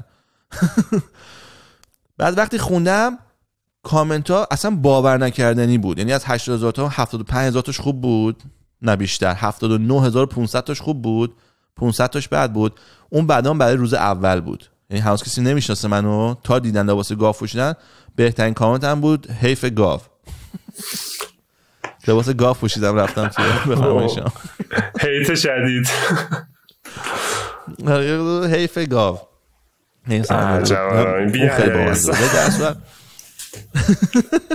در صورت دیدم که نه آدم بدی نیستم پس دریگو ولی اگر یه آدمی باشی که این اتفاقات نیفته احتمالا خود متنفر میشی یعنی این کرکتر راستگوه باشی بله. چون میگم مادر پدر قضاوت بد می‌کنن رود یه چه برسه به مثلا غریبه ها که می‌بینن چون. خودتی دیگه. چون من خودمم چه عالی.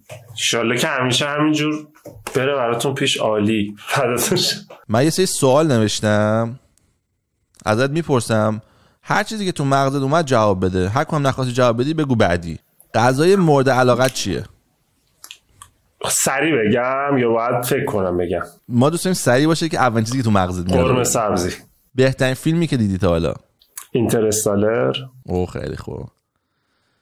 بهترین کشور تو دنیا به نظرت کدومه؟ نرفتم زیاد جایی ولی ترکیه رو که رفتم عاشقش شدم. یعنی هر جا به غیر از ایران. نه ایرانم خیلی دوست دارم ولی کلا فضای ترکیه که رفتم یه حس خیلی خوبی داشتم. هنوزم دارم یعنی البته.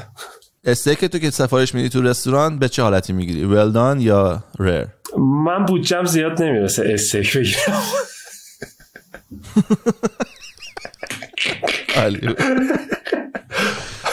وقتی میری دیت اولین نفری که میری دیت کی باید پول غذا رو بده؟ دیت یعنی چی؟ من بپرسم ازتون. پسر دختر بخوایم با هم بریم قرار. خیلی من حساب می‌کنم. اصلا اینجوری نیستش. اصلا روی این فکر نمی‌کنم. خودم دوست دارم همیشه دست به جیب باشم تا خرج کنم برام. من دوست دارم دختر بده. نه من خودم تو هر بیشترین اپی که استفاده می‌کنی رو تلفنت؟ اینستاگرام. اگه قرار بود یه آهنگ تا آخر عمرت فقط گوش بدی. آهنگ کافردل یه ریمیکس مال کارن همایون فر فکر می‌کنم زده برای کافردل همایون شجریان. آهنگ وانده Interstellar هم خیلی قشنگی اونم خیلی دوست دارم. این تصویر کلا اصلا واقعا همه جوره قویه. آره خیلی قوی خیلی قوی. مادر مغزو سرویس می‌کنه. واقعا. تازه با اون آیدیایی که ساخته شده دیگه می‌دونین که چجوری ساخته شده آهنگش. نه. اه، سازندهش اسمش هم الان یادم رفته. کریستوفر نولان. رفته پیش هنس زیمر گفته آقا یه فیلم این موضوع یه چیزی بساز براش. و هیچ دیتیل دیگه ای نداده. اومده و آهنگ رو تحویل گرفته. آهنگ. آهنگ کامل نشسته رو فیلم. یعنی با این شرایط ساخته شده. اصلا فیلمی ساخته نشده بوده. فقط گفته راجع به فضا و ایناست. تو یه آهنگ بساز خودت. واو موه بدنم سیخ شد. چه باحال آره خیلی فکت جالب. خودش حالی کرده. چند سالگی بود که اولین بار ورجنیتی تو از دست دادی؟ چی چی چیکار کردم؟ اولین باری که بوم چیکی بوم کردی؟ هنوز نفهمیدم سوالو. اولین باری که سکس داشتی کی بود؟ فکر می‌کنم 28 سکس اولین بار 28 خب بر همین از انقدر باحالی. کارای دیگه نمی‌کردی. قرار ما که همه چیز بودیم تو کتاب می‌خوندیم اولین باری که زدی یادت میاد؟ نزدم که تا به چه. داستانی جغ زدی نزدم گفت گفتم به. گفتم من توی بچه های دروغم نمیگه فکر نکنید. چیزی میاد من تو بچه های تولید خود من قبل از تو فیلم باشه ازش پرسیدم یعنی فکر نکنید داره. خود من اصلا قبل از این اصلا خلوت خودم پرسیدم من نجم الدین شریعتی توی بچه های تولید محتوا کنندم خب سوال آخر اگه می‌تونستی یه race دیگه باشی به جز ایرانی دوستشی کی باشی؟ ریس یعنی چی؟ من اینا رو ببخشید نمی‌دونم خیلی. نژاد. ببخشید که من انگلیسی میگم. من خاک خودم نه و فداتون شم race می‌تونستم باشم. ترکم من من من ترک ها رو خیلی دوست دارم. به نظرم پشتکارشون خیلی. خوبه. من چینی دوست داشتم باشم. خیلی زیادن. چرا؟ نصف دنیا ما بودیم. آره. هر جا بری که پیدا می‌کنی آره. زیادن. الان خیلی قوی میشن دیگه. قوی هستم واقعا خیلی قویه. خیلی قوی من من چین خانم آوردم چین. از اینجا تا چین داشت گریه می‌کرد. نه بابا. که ما چرا داریم میریم چین؟ چه کشور تخمی داریم میریم؟ من حاصل ندارم توی مزرعه برنج برم. میگم چی فکر کردی راجع به چین؟ یه عکس دیدی اصلا تو بچگیت فکر کردی همونه؟ بعد رفتیم چین 20 روز چین موندیم داشتیم برمیگشتیم. بعد تو راه برگشت چرا داریم برمیگردیم؟ این کانادا کانادا عقب مونده.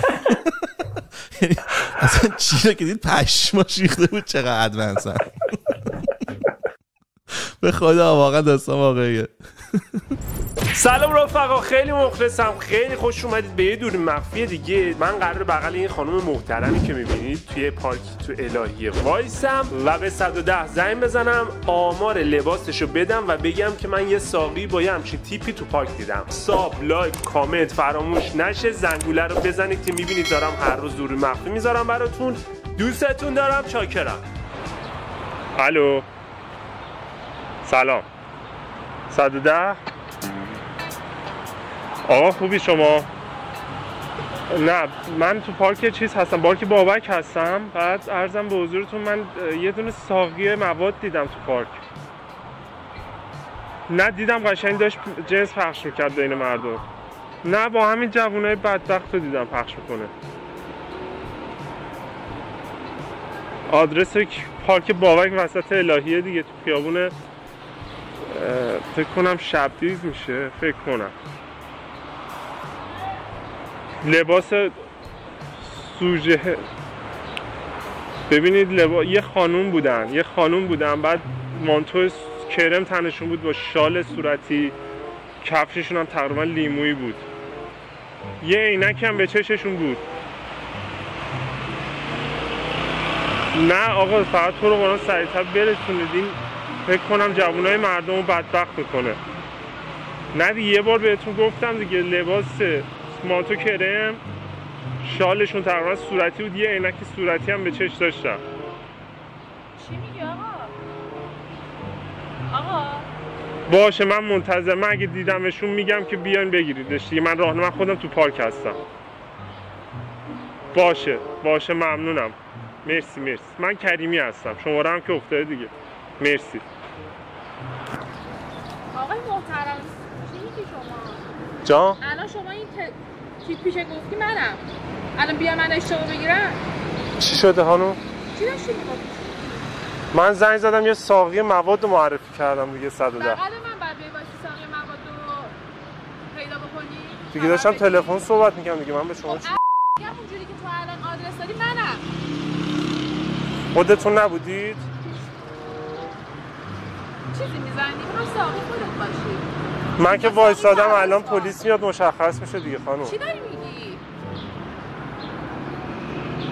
من زن- خلی من زنگ زدم سرده الان میاد دیگه. من یه ساقی تو پارک دیدم جنس داشت دست جوون مردم می‌داد. خب میگم تیپش مثل منه. روانی.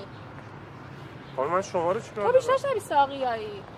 شما داری میگی. مانتوی کرم شال صورتی. کفش نیمویی. خب من همینم دیگه خب شاید دنبال خودتون من. مزاحمتی؟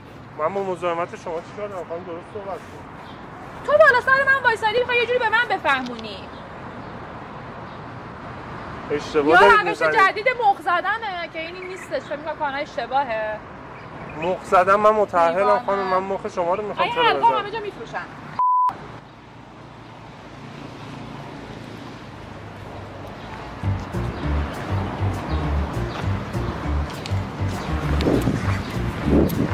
خانم تشریف بیارید. خوب خودتون رو کنترل کردن داشتین دور مخفی خیلی کار بدی کردی واقعا من ضربان قلبم رفته بالا. ببخشید ببخشید اوقاتتون رو برمیتم اشکال نداره پخش کنی؟ نه دیگه پخش کنی. خیلی ممنونم. روز خوبی داشته باشی. ممنونم. مرسی خدا نگهدار. برعکس عزیز برمیگردیم با مستر سهیل. من معروف چاکرم ترین سهیل دنیا. نه. معروفترینش جون دله. چطوری جون دل؟ نه من چون من هر جا میرم چک می‌کنم. چون میرم خونه مردم مثلا یا میرم تو کالیفرنیا رو لپتاپ دوستم روی اونم تازه می‌زنم. incognito یعنی اینکه private باشه هیچ نوع کوکی موکی نیاره بالا. توی اون میرم رو گوگل یعنی یوتیوب می‌زنم سهیل. اولین سهیل یا منم یا تو. جدا؟ خب خدا رو شکر. آره. اونم به خاطر این بودش که تو نبودی تو بازی. من ویدیو میگم تو نمیذاشتی بعد تو تا برگشتی دیگه فقط تو اولی من دوم من شدم. من قربونتونم. آره. S O H E بزنی تو میای بالا. اولی سهیل توی دومیش هم سهیل من خسروی خاک بودم آسویل من فکر کنم تا یک سال پیش من تو خیابون تو کل این چهار سالی که دور منفی شروع کردم یه نفر شناخته بود کلا. الان یه ذره شرایط بهتر شده ولی قبلا فقط یه نفر توی سه سال. اونم تازه رد تو تجریش رد شدیم. گفت آسای شما گفتم بله. چطور؟ از کجا می‌شناسید؟ گفت بماند. اونم رفت ما رو تو خماریش گذاشت که ما بفهمیم از کجا می‌شناسید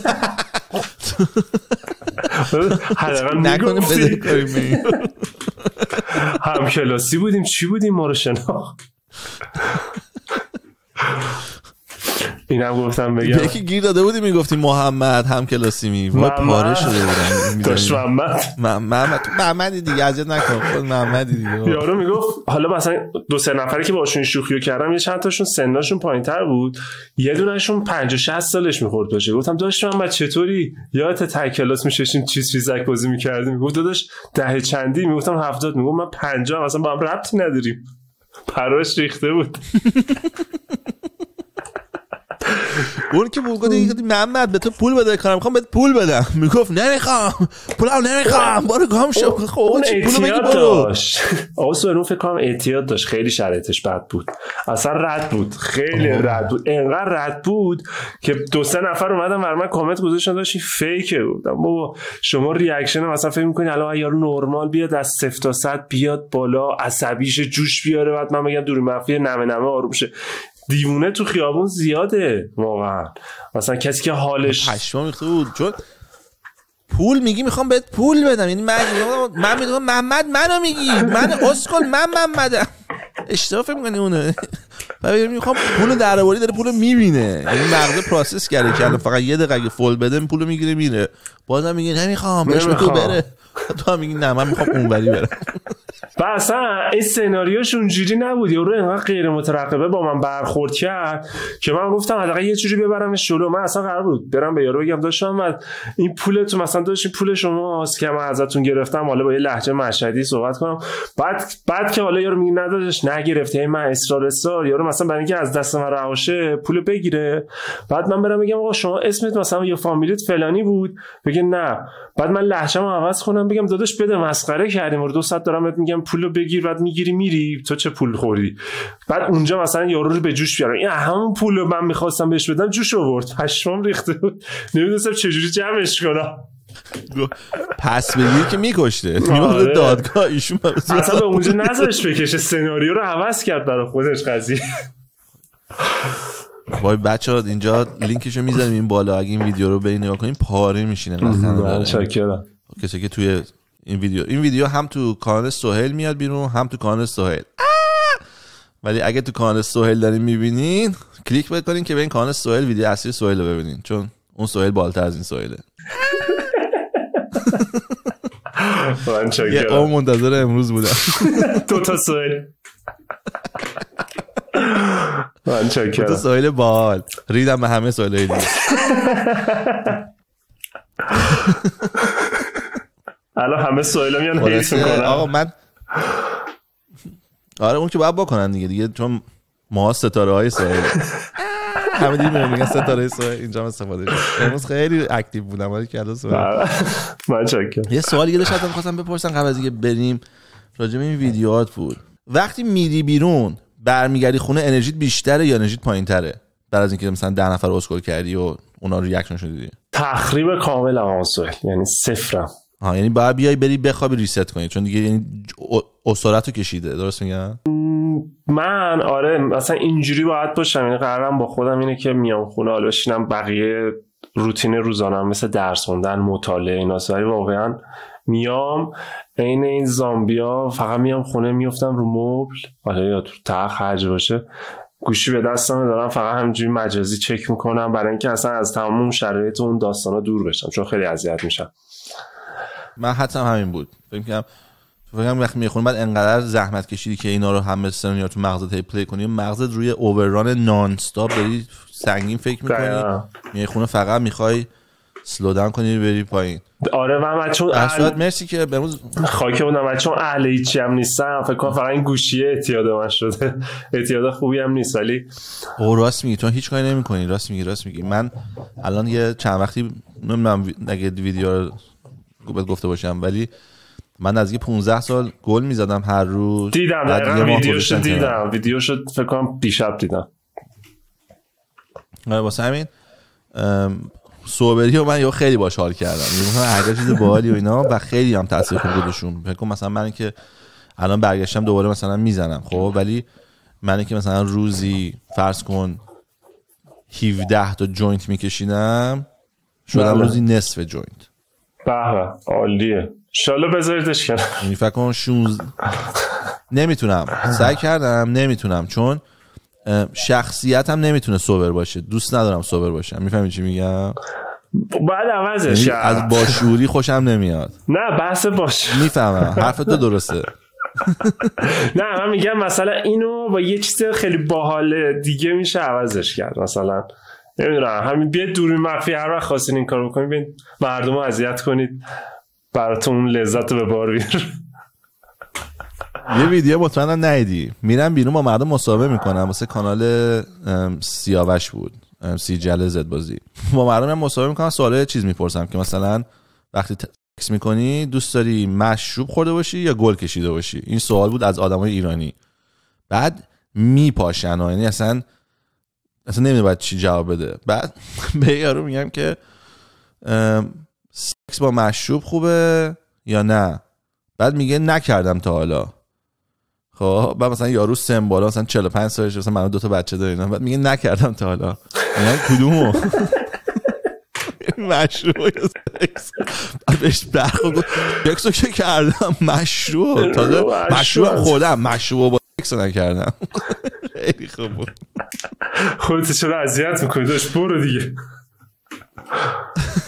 یارو خیلی یه بار دیگه هم تو خیابون دیدمش. انقدر یادم مونده بودتش انقدر آدم باحالی بود. تو خیابون دیدمش. ازشم پرسیدم گفتم گفتم بچه داری؟ گفت آره. گفتم بچه بهتره یا سگ؟ بعد سگ سگ 100 درصد سگ. بچه ها دهنمو سرویس کردن. بعد چیزی که گفت اصلا پشمان ریخت. گفت من دو تا دختر دارم دختر اولیمو دوست داشتم. دختر دومیم انقدر گوه از دختر اولی هم بدم اومده. پشمان ریخت. تاثیر محیط برای دلش پر بود. خیلی خوب بود. یعنی گفتم بچه این ببینن خودکشی می‌کنن. شما. شبکه های ایرانی رو نسبت بهشون چیز دارین detail دارین مثلا؟ شبکه نسیم و اینا رو می‌دونین چجوریه یا نه؟ نه. شبکه من فقط مناطق رو یه بار توش بودم. شبکه نسیم entertainment شبکه چهار هم که شنیدید دیگه. فلسفی و این نه. حرفا من تا من بودم سه آخریش بود اومده بود ورزش. چهار چیه؟ شبکه چهار یه شبکه‌ای که کلا یه هم داستان sober بودن توی شبکه ها شبکه چهاره. یعنی یه شبکه‌ای که هم علمیه. آره علمی همه با کلاس یه سری. یوبوست خاصی دارم یا میشینن صحبت می‌کنن. شبکه من عاشق اون کارم. آره شبکه نسیم هم شبکه اینترتینمنته حالا تنز و این داستانا داره. میگم الان این پادکست شما شد شبکه تلفیق نسیم و شبکه چهار. اون وسطی که شما می‌خوای فانش کنید. یا من میام فلسفیش می‌کنم یه چیزایی میگم. نه خوب اتفاقا. همه برعکس عاشق پادکست هم به خاطر همینه. چون پادکست رابطه من و تو رو داره می‌ذاره توی شو بدون اینکه ما یه دونه اجندا داشته باشیم. اگه ما بخوام راجع به مثلا بیام بگیم اسلام بده یا اسلام خوبه. ما بخوام بگیم کفش نایکی خوبه یا کفش آیداس. ما چون هیچ اجندایی نداریم صحبت می‌کنیم این فلوی خیلی نرم و که داره این روندگی خیلی خودشو که داره بین من و تو دو, تا دوست که داریم ما صحبت می‌کنیم چی میاد چی میره راجع به چی حرف می‌زنیم. اینشه که خیلی interesting ه چون هم حرفای جدید میاد بالا هم من مطمئنم که صدها هزار نفر آرزوشون بود جای من باشن بتونن از تو بپرسن آقا وقتی می‌زنی feeling چیه اون لحظه؟ وقتی تموم میشه feeling چیه اون لحظه؟ چقدر طول کشید معروف بشی؟ آها این سوال رو مثلا بپرسم. جونم. وقتی که گرفتنت به خاطر اذیت کردن مردم اون لحظه چه احساسی داشتی که تو فقط داری یه هنر رو درست می‌کنی و این همه زحمت کشیدی و یه سری آدم که نمی‌تونن بفهمن تو کجایی و چیکار داری می‌کنی اومدن دارن تو رو قضاوت می‌کنن و دارن اذیتت می‌کنن. یه ذره بازش کنم و سوال حالا کوتاهش می‌کنم. باز شده ولی که اینو بر- کداش نکن اتفاقا توضیح بده. چون آخه اینو به قدرت دوربین خودت توضیح بده. اون که رو اوورهیت رو از الان آلار داده. ولی که اوورهیت بده خدا. من اینو چند بار چون توضیح دادم به بچه ها چون ویدیو ساختم تو کانال گذاشتم. ولی الان هم باز میگم خب شاید جالب باشه. من کلا همیشه سبک زندگیم این بود که خیلی همه چیز سیف ببرم جلو و همه چی نسبت بهش آگاه باشم. یعنی در این حد می‌خوام بهتون میگم که وقتی یه کاری می‌خواستم انجام بدم باید کامل نسبت بهش آگاه بودم ولی این داستان دور مخفی کلا زندگی منو تغییر داد و شما حساب کنید منی که کارم فروش اینترنت بود قبل از اینکه دور مخفی شروع کنم. با بازیگرای خیلی خفن سینما ایران مثل مهران مدیری رضا گلزار نوید محمدزاده فراد اسانی برادران کیایی. با حالا خیلی کار می‌کردم و یه شرایط سیف زندگی داشتم. یه شرایط سیف رو آوردم توی یه شرایط آن سیف میگن بهش توی خارج نمی‌دونم. بله. خیال شرایط نایمن یعنی هر لحظه ممکن هر اتفاقی بیفته. ولی خب چون این از حاشیه امن زندگی خودم که برای خودم ساخته بودم پامو فراتر گذاشتم اصلا فرق کردم و مثلا منو می‌گرفتن فقط به این فکر می‌کنم که چجوری الان اینو مدیریت کنم که از این مخمسه در بیام. و چون ایمان داشتم کارم درسته یعنی مهمترین درستی کارم که توی ایران داره اتفاق میفته اینه که من برای دور مخفی مجوز دارم از ناجا. و رفته بودم دنبالش. من مجوز ساخت دوربین مخفی داشتم. درست انجام بدی آره یعنی گفتم من دیگه رفتم تهش رو که این مجوز است رو گرفتم. می‌دونم حداقل یه ارگان دولتی تایید کرده که این مجوز داده. فقط به این فکر کردم که این مخمسه ازش در بیام و می‌دونستم چون واقعا کار اشتباهی نکردم در میام. یعنی بدترین شرایط هم اتفاق افتاد. خدا رو شکر. چون منو 5 6 بار گرفتن تا حالا به خاطر دوربین مخفی. هندلش کردم و همه چی دست به دست هم داد که این اتفاق خوب پیش بره. اصلا اون اتفاق بعدا باعث سبب خیر می شدم اولین بار که منو گرفتم من رفتم دنبال مجوز. دومین بار که منو گرفتم وصل شدم به یه ارگان دولتی براشون کار ساختم. یعنی همه اینا که هی رفت جلو برای من سبب خیر شد. آخرین بارم که گرفتم به خاطر خامه باعث شد که من یه آدم دیگه بشم و یوتیوب رو شروع کنم. خیلی توضیح او چه عالی چه پوش خوبی. این چه خوب شد پس این دفعه. من خیلی ناراحت بودم دفعه واقعا قشنگ فوش می‌دادم. وقتی بلند دیدم زدم بعد ویدیو تو همه پاک کردن بعدش دیدم رو یه ویدیو آشغال انداخته بودم روی اینستاگرامت. من اصلا پاشیدم یه استوری سریعم رو درست کردم که مثلا چرا یه نفری که تالنت داره رو به جای اینکه کمک کنین همیشه باید اذیتش کنین؟ من نمی‌فهمم چه منطقی این کشور داره ران می‌کنه. من کاری ندارم شب به چه باوری میخوابی چیکار کنی چه جوری می‌تونی اینو نبینی که این آدم خواسته و تو باید کمکش کنی؟ OK بهش بگو آقا باید مجوز بگیری. بگو از من این کارو می‌کنی بعد به 5 میلیون پول بدی یه داستانی درست کن براش که بتونه بره جلو. چرا فقط خارج درست کنیم؟ حالا من برای شخصی دو تا سوال دارم چون می‌خوام بدونم. یکی اینکه رو اینستاگرام اینا که تبلیغ می‌زنن. مثلا میگه که مثلا اگه می‌خواین اسپیکر بخرین از اسپیکر بخرین. چقدر معمولا این کمپانیا پول میدن؟ چون من مطمئنم خیلی از کسایی که اصلا برای تبلیغ اولشون میره تو پاچشون چون اطلاعاتو ندارن. هیچ جا اینفورمیشن نیست. چون حالت نگوشیشنه نرمش چیه؟ هر صد هزار تا فالوور صد هزار تومنه. ولی مثلا ما داریم کسایی که خیلی خفنن و بالان مثلا یارو برای یه تبلیغ 70 80 میلیون می‌گیره. ولی من خودم مثلا آره، طرف من خودم طرف تبلیغم 400 هزار تومنه. خیلی کمه نسبت به کسای دیگه. پس 400 هزار تومان شما می‌گیری. برای یه نفره هم هستن که تا 80 میلیون هم میره. یعنی تو این range ه. بله، برای بله. 100 هزار تایی می‌فهمم دیگه 100 فهمیدم. 100 هزار فهمیدم. فهمیدم. بعد حالا سوال دوم اینه که وقتی میگیرنت این process چجوریه؟ میان در خونه در می‌زنن خیابون یهو میریزن رو سرت. بستگی؟ داره دیگه. باشه نامه میاد که لطفا بیا اینجا. و مثلا این پنج شش باری که بر من اتفاق افتاده خب اولین بار اومدن تو مخفی مخفیگاه خودم باورم شده مخفیگاه. ما توی هتل ما توی هتلی بودیم رفته بودیم که به راحتی مثلا بعد از ضبط کارا edit کنیم. اولین بار اومدن قپلونی کردن بردن. دومین دفعه از طرف یه ارگانی با یه account fake ی اومدن به من گفتن آقا ما می‌خوایم دوربین مخفی دانشجویی بسازیم شما شماره همراهتو بده. منم اوایل بود که با این اینستاگرام آشنا شده بودم ورود کرده بودم برای همین ساخت دوربین مخفی. شمارهمو خیلی احمقانه دادم و زنگ زدن و گفتن آقا پاشو بیا اینجا. دو سومین دفعهشو اگر اشتباه نکنم زنگ زدن به مادر خانوم من. خونهشون. نمی‌دونم شما رو اون بنده خدا رو از کجا پیدا کرده بود. که من رفتم و اتفاقای بعدش اتفاق افتاد.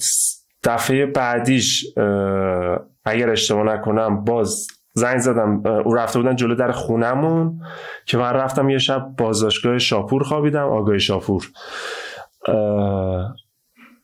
و آخرین بارم تو بازداشتگاه نمیخندیدی بغلت قاتل بود تو جوک کرده بودی؟ چرا؟ نه نمیخندیدم پرام ریخته بود. واقعا توی کوپ خاصی بودم. اصلا مونده بودم. طرف می‌گفت من اینجام به جرم قتل. دو نفر دیگه بودن تو همون جایی که من بودم یارو رو گرفته بودن به جرم گروگانگیری یه خانومه رو خف کرده بودن برده بودن. دیدن خیلی پول نداره. ولش کرده بودن یارو تا رفته بود آزاد شده بود پلیس رو خبر کرده بود این احمقا هم مونده بودن تو اونجا. پلیس گرفته بودتش. اصلا آدمای خاص. آره به خود من تعجب بودم دیگه. می‌گفتم خب من مجوز دارم بچه برم باید گرفته باشم ولی خب بالاخره تجربه بود دیگه. همشون همه اون سرگذشته این لحظه منه دیگه. یعنی اونا نبودن قطعا من اینجا بعد نبودم باهات بهت بی احترامی می‌کردن یا نه؟ با احترام بهت می‌گفتن که مشکل داری؟ نه من مثلا من خدا رو شکر به خاطر نوع نمیگم یعنی تعریف نمی‌کنم واقعا فقط چیز خودت. آره خودی واقعی دارم به خاطر نوع بیانم واقعا همه خیلی با احترام. جز اولین بار که اومدن قپونی بردن ما یعنی مثلا الان حتی اون رئیس کلانتری که اومد منو گرفت برد الان تو خیابون می‌بینه منو مثلا سلام علیک گرم با من می‌کنه. اینجوریه شرایطش. همه خیلی با احترام. حت- حتی قاضی. مثلا قاضی این پرونده چون یه پرونده شد که خیلی بولدش کردن دستگیری عوامل دوری مخفی ساز غیر مجاز. خیلی بولدش کردن ولی قاضی خیلی آدم خوبی بود. واقعا پرام ریخت. رفتم عین یه برادر می‌گفت چرا؟ اصلا چرا اینجوری کردن؟ چرا اینجوری شد؟ و ما رو تبرئه کرد. همش و چون شما چون خوب آدم بعضی میشنم و یادم خوبم هست. قربونتون. آه نه من که میگم با آدمای خیلی خوبی چون احساس می‌کنم حالا این فلسفه خودم. میگم آدم انرژیش هرچی باشه همون آدما سر راهش قرار می‌گیرن. ولو اینکه حتی اون آدم بده سر راه آدم قرار بگیره قرار یه اتفاق خوبی برات بشه. مثل اون میمونه که تو از در خونه میای با یکی مشاجره می‌کنی. تو فکر می‌کنی چه روز بعدی که با یه آدمی که مشاجره کردی شروع کردی ولی بعد میری جلو می‌بینی که اگر فکر می‌کنی اگر من زودتر رفته بودم از خونه اون تصادفی که الان تو جاده دیدم می‌تونست من باشم. برای من این باورم اینجوریه یعنی در واقع. پس الان با دولت هیچ مشکلی نداری؟ چون همیشه نه. ام، چیزو تو گرفتی مجازات تو گرفتی به حرفشون هم گوش دادی. بله بله. نه الان که خیلی اوکی هم همه جوره الان یه دقیقه دوربین قطع شده بود. بعد تو این فاصله که دوربین قطع شده بود من با سوال صحبت کردم. بیشترین مشکلی که باششن این بود که لباس پلیس رو پوشیده بود و از این خیلی شاکی شده بودن. و من توی ایران که خود توهم من می‌تونم بفهمم که لباس پلیس رو خیلی می‌کنه. مثلا کسی می‌خواد این کارو بکنه حواست باشه که با لباس پلیس یا شوخی نکن چون اونو خیلی جو میدن که تو می‌تونن داستان سازی کنن باش. یعنی بخوان داستان بسازن لباس پلیس ند باشه دیگه هر چی می‌تونه بگه دیگه. می‌تونی یارو جاسوس بود بیا ثابت کن ما جاسوس نبودیم. حالا یه چیز خیلی جالب بهتون بگم اون سوال لباس پلیس و هر نوعیشو توی اه، منیریه میفروشه. این خیلی جالبه. یعنی مغازه‌ای هست که لباس پلیس میفروشه. خیلی خیلی خیلی فانه جدی میگم. یعنی یه جوری بود که من رفتم لباس رو خریدم لباس فروشی می‌گفت نگی اما خریدی. گفتم نمیگم آقا نه. ولی میفروشه. اونم الکی میگه نگی. چون فقط بخواد به تو بگه جو بده. چون اون آردی پلیس رو می‌شناسه بهش حقوقش رو میده. اونم میگن تو رو تو فیلم پیدا کردن. می‌خوای مغازه رو پیدا نکنن؟ دقیقا دقیقا. آقا واقعا مرسی از این وقتی که. من. این ویدیو. هم که گفتم هم تو ویدیو من هست. هم تو کانال سهیل هر کدوم سهیل دوست داریم بریم با اون سهیل حال سهیل بازی. یه آیدیا هم با هم صحبت کردیم قرار شده انجام بده. امیدوارم انجام بده اگه حال. کردین یک کردیت به منم بدین توش. بند. اصلا. ما یه- یکم رده قبلیمون به اسفان مره نمی‌تونم زیاد به سلفون پولو. به پول حساسیت دارم. حالا لحظه در میاری من 4 5 سال بود اینجا بودم. زنگ زدم یه, یه, یه, یه کمپانی بود که فیلم های VHS و بتاماکس رو تبدیل می‌کرد به CD و DVD اینم کارش بود یادمه. تلفن رو پیدا کردیم زنگ زدم آقا یارو ترک بود. ولی انگلیسی حرف می‌زد. خب یعنی مال تبریز بود ولی من رو انگلیسیش فهمیدم ترک تبریز ترک تبرید مثلا میگن سلام جان خوب هستی شما؟ مثلا بله،. انگلیسی می‌گفت هلو هاو ار یو شما؟ دقیقا همون ریتم ترکی رو تو انگلیسی داشت بعد. من پاره شدم از خنده. مثلا نمیستم بفهمم که مثلا لحجه ایرانی رو می‌تونی ببری اون وریش. خیلی باحال بود. حالا تو هم لحجه در میاری خیلی. چکرم اینجا که دیگه غیر قانونیه. نه. و برای وقت امیدوارم خوش خوشتون اومده باشه. اگر کامنتی نظری حتی بر هر کدوم اون دارین لطفا برم. ما همه دوست داریم. همونجور که من فهمیدم هم سوال کامنت رو می‌خونه هم من می‌خونم. هر کدوم جواب لازم میشه جوابم میدیم. این دو سنت ما بود. این می‌خواستم خیلی دارم می‌خواست با این شخصیت به این تلنتد و به این با استعدادی صحبت کنم. و الان ساعت خوابش گذشته. به من گفته که ساعت ده میخوابه الان ساعت یک صبح. یعنی به خاطر شما و من همچین کاری کرده من از سنگ قلب. شنبونستو میبوسم. امیدوارم بقیه هم این کارو بکنن. خاک پاتون از ساعت خواب بدتر یارو تبلیغ داده بود از ساعت یک زور میگو داشتین تبلیغ ما رو چرا نمی‌ذاری؟ منم الان گوشیم با شما دارم صحبت می‌کنم. می‌دونم برم تو دایرکت فوشیشم کرده. یا از همش بدتره. آره منم اتفاقا یکی دارم.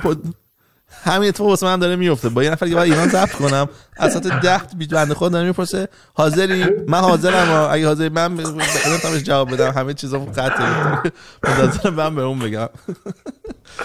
خیلی خب آقا خیلی خوشحال شدم واقعا. هم. آشنایید هم از این وقتی. تاج چیز ما هم یاد گرفتیم از هم دیگه. عزیز دلی برم. خیلی حال داد واقعا کیف. کردم شما که گل بودید گلترم هستید و منم که صبح رودم و صبح هستم. امیدوارم که جذاب بوده باشه. همینطور از خانوم و مادر خانوم حتما تشکر کنم که ساعت یک نشست صدای مادر رنگ آه، اونجا خاک پاتونم آقا. خیلی کیف کردم آقا. دمتون گرم. من همینجور. قربون شما برم. برم. خیلی عزیزین شب. شما بخیر. چاکرم. بچه ها سابسکرایب و شیر یادتون نره. کمکمون کنیم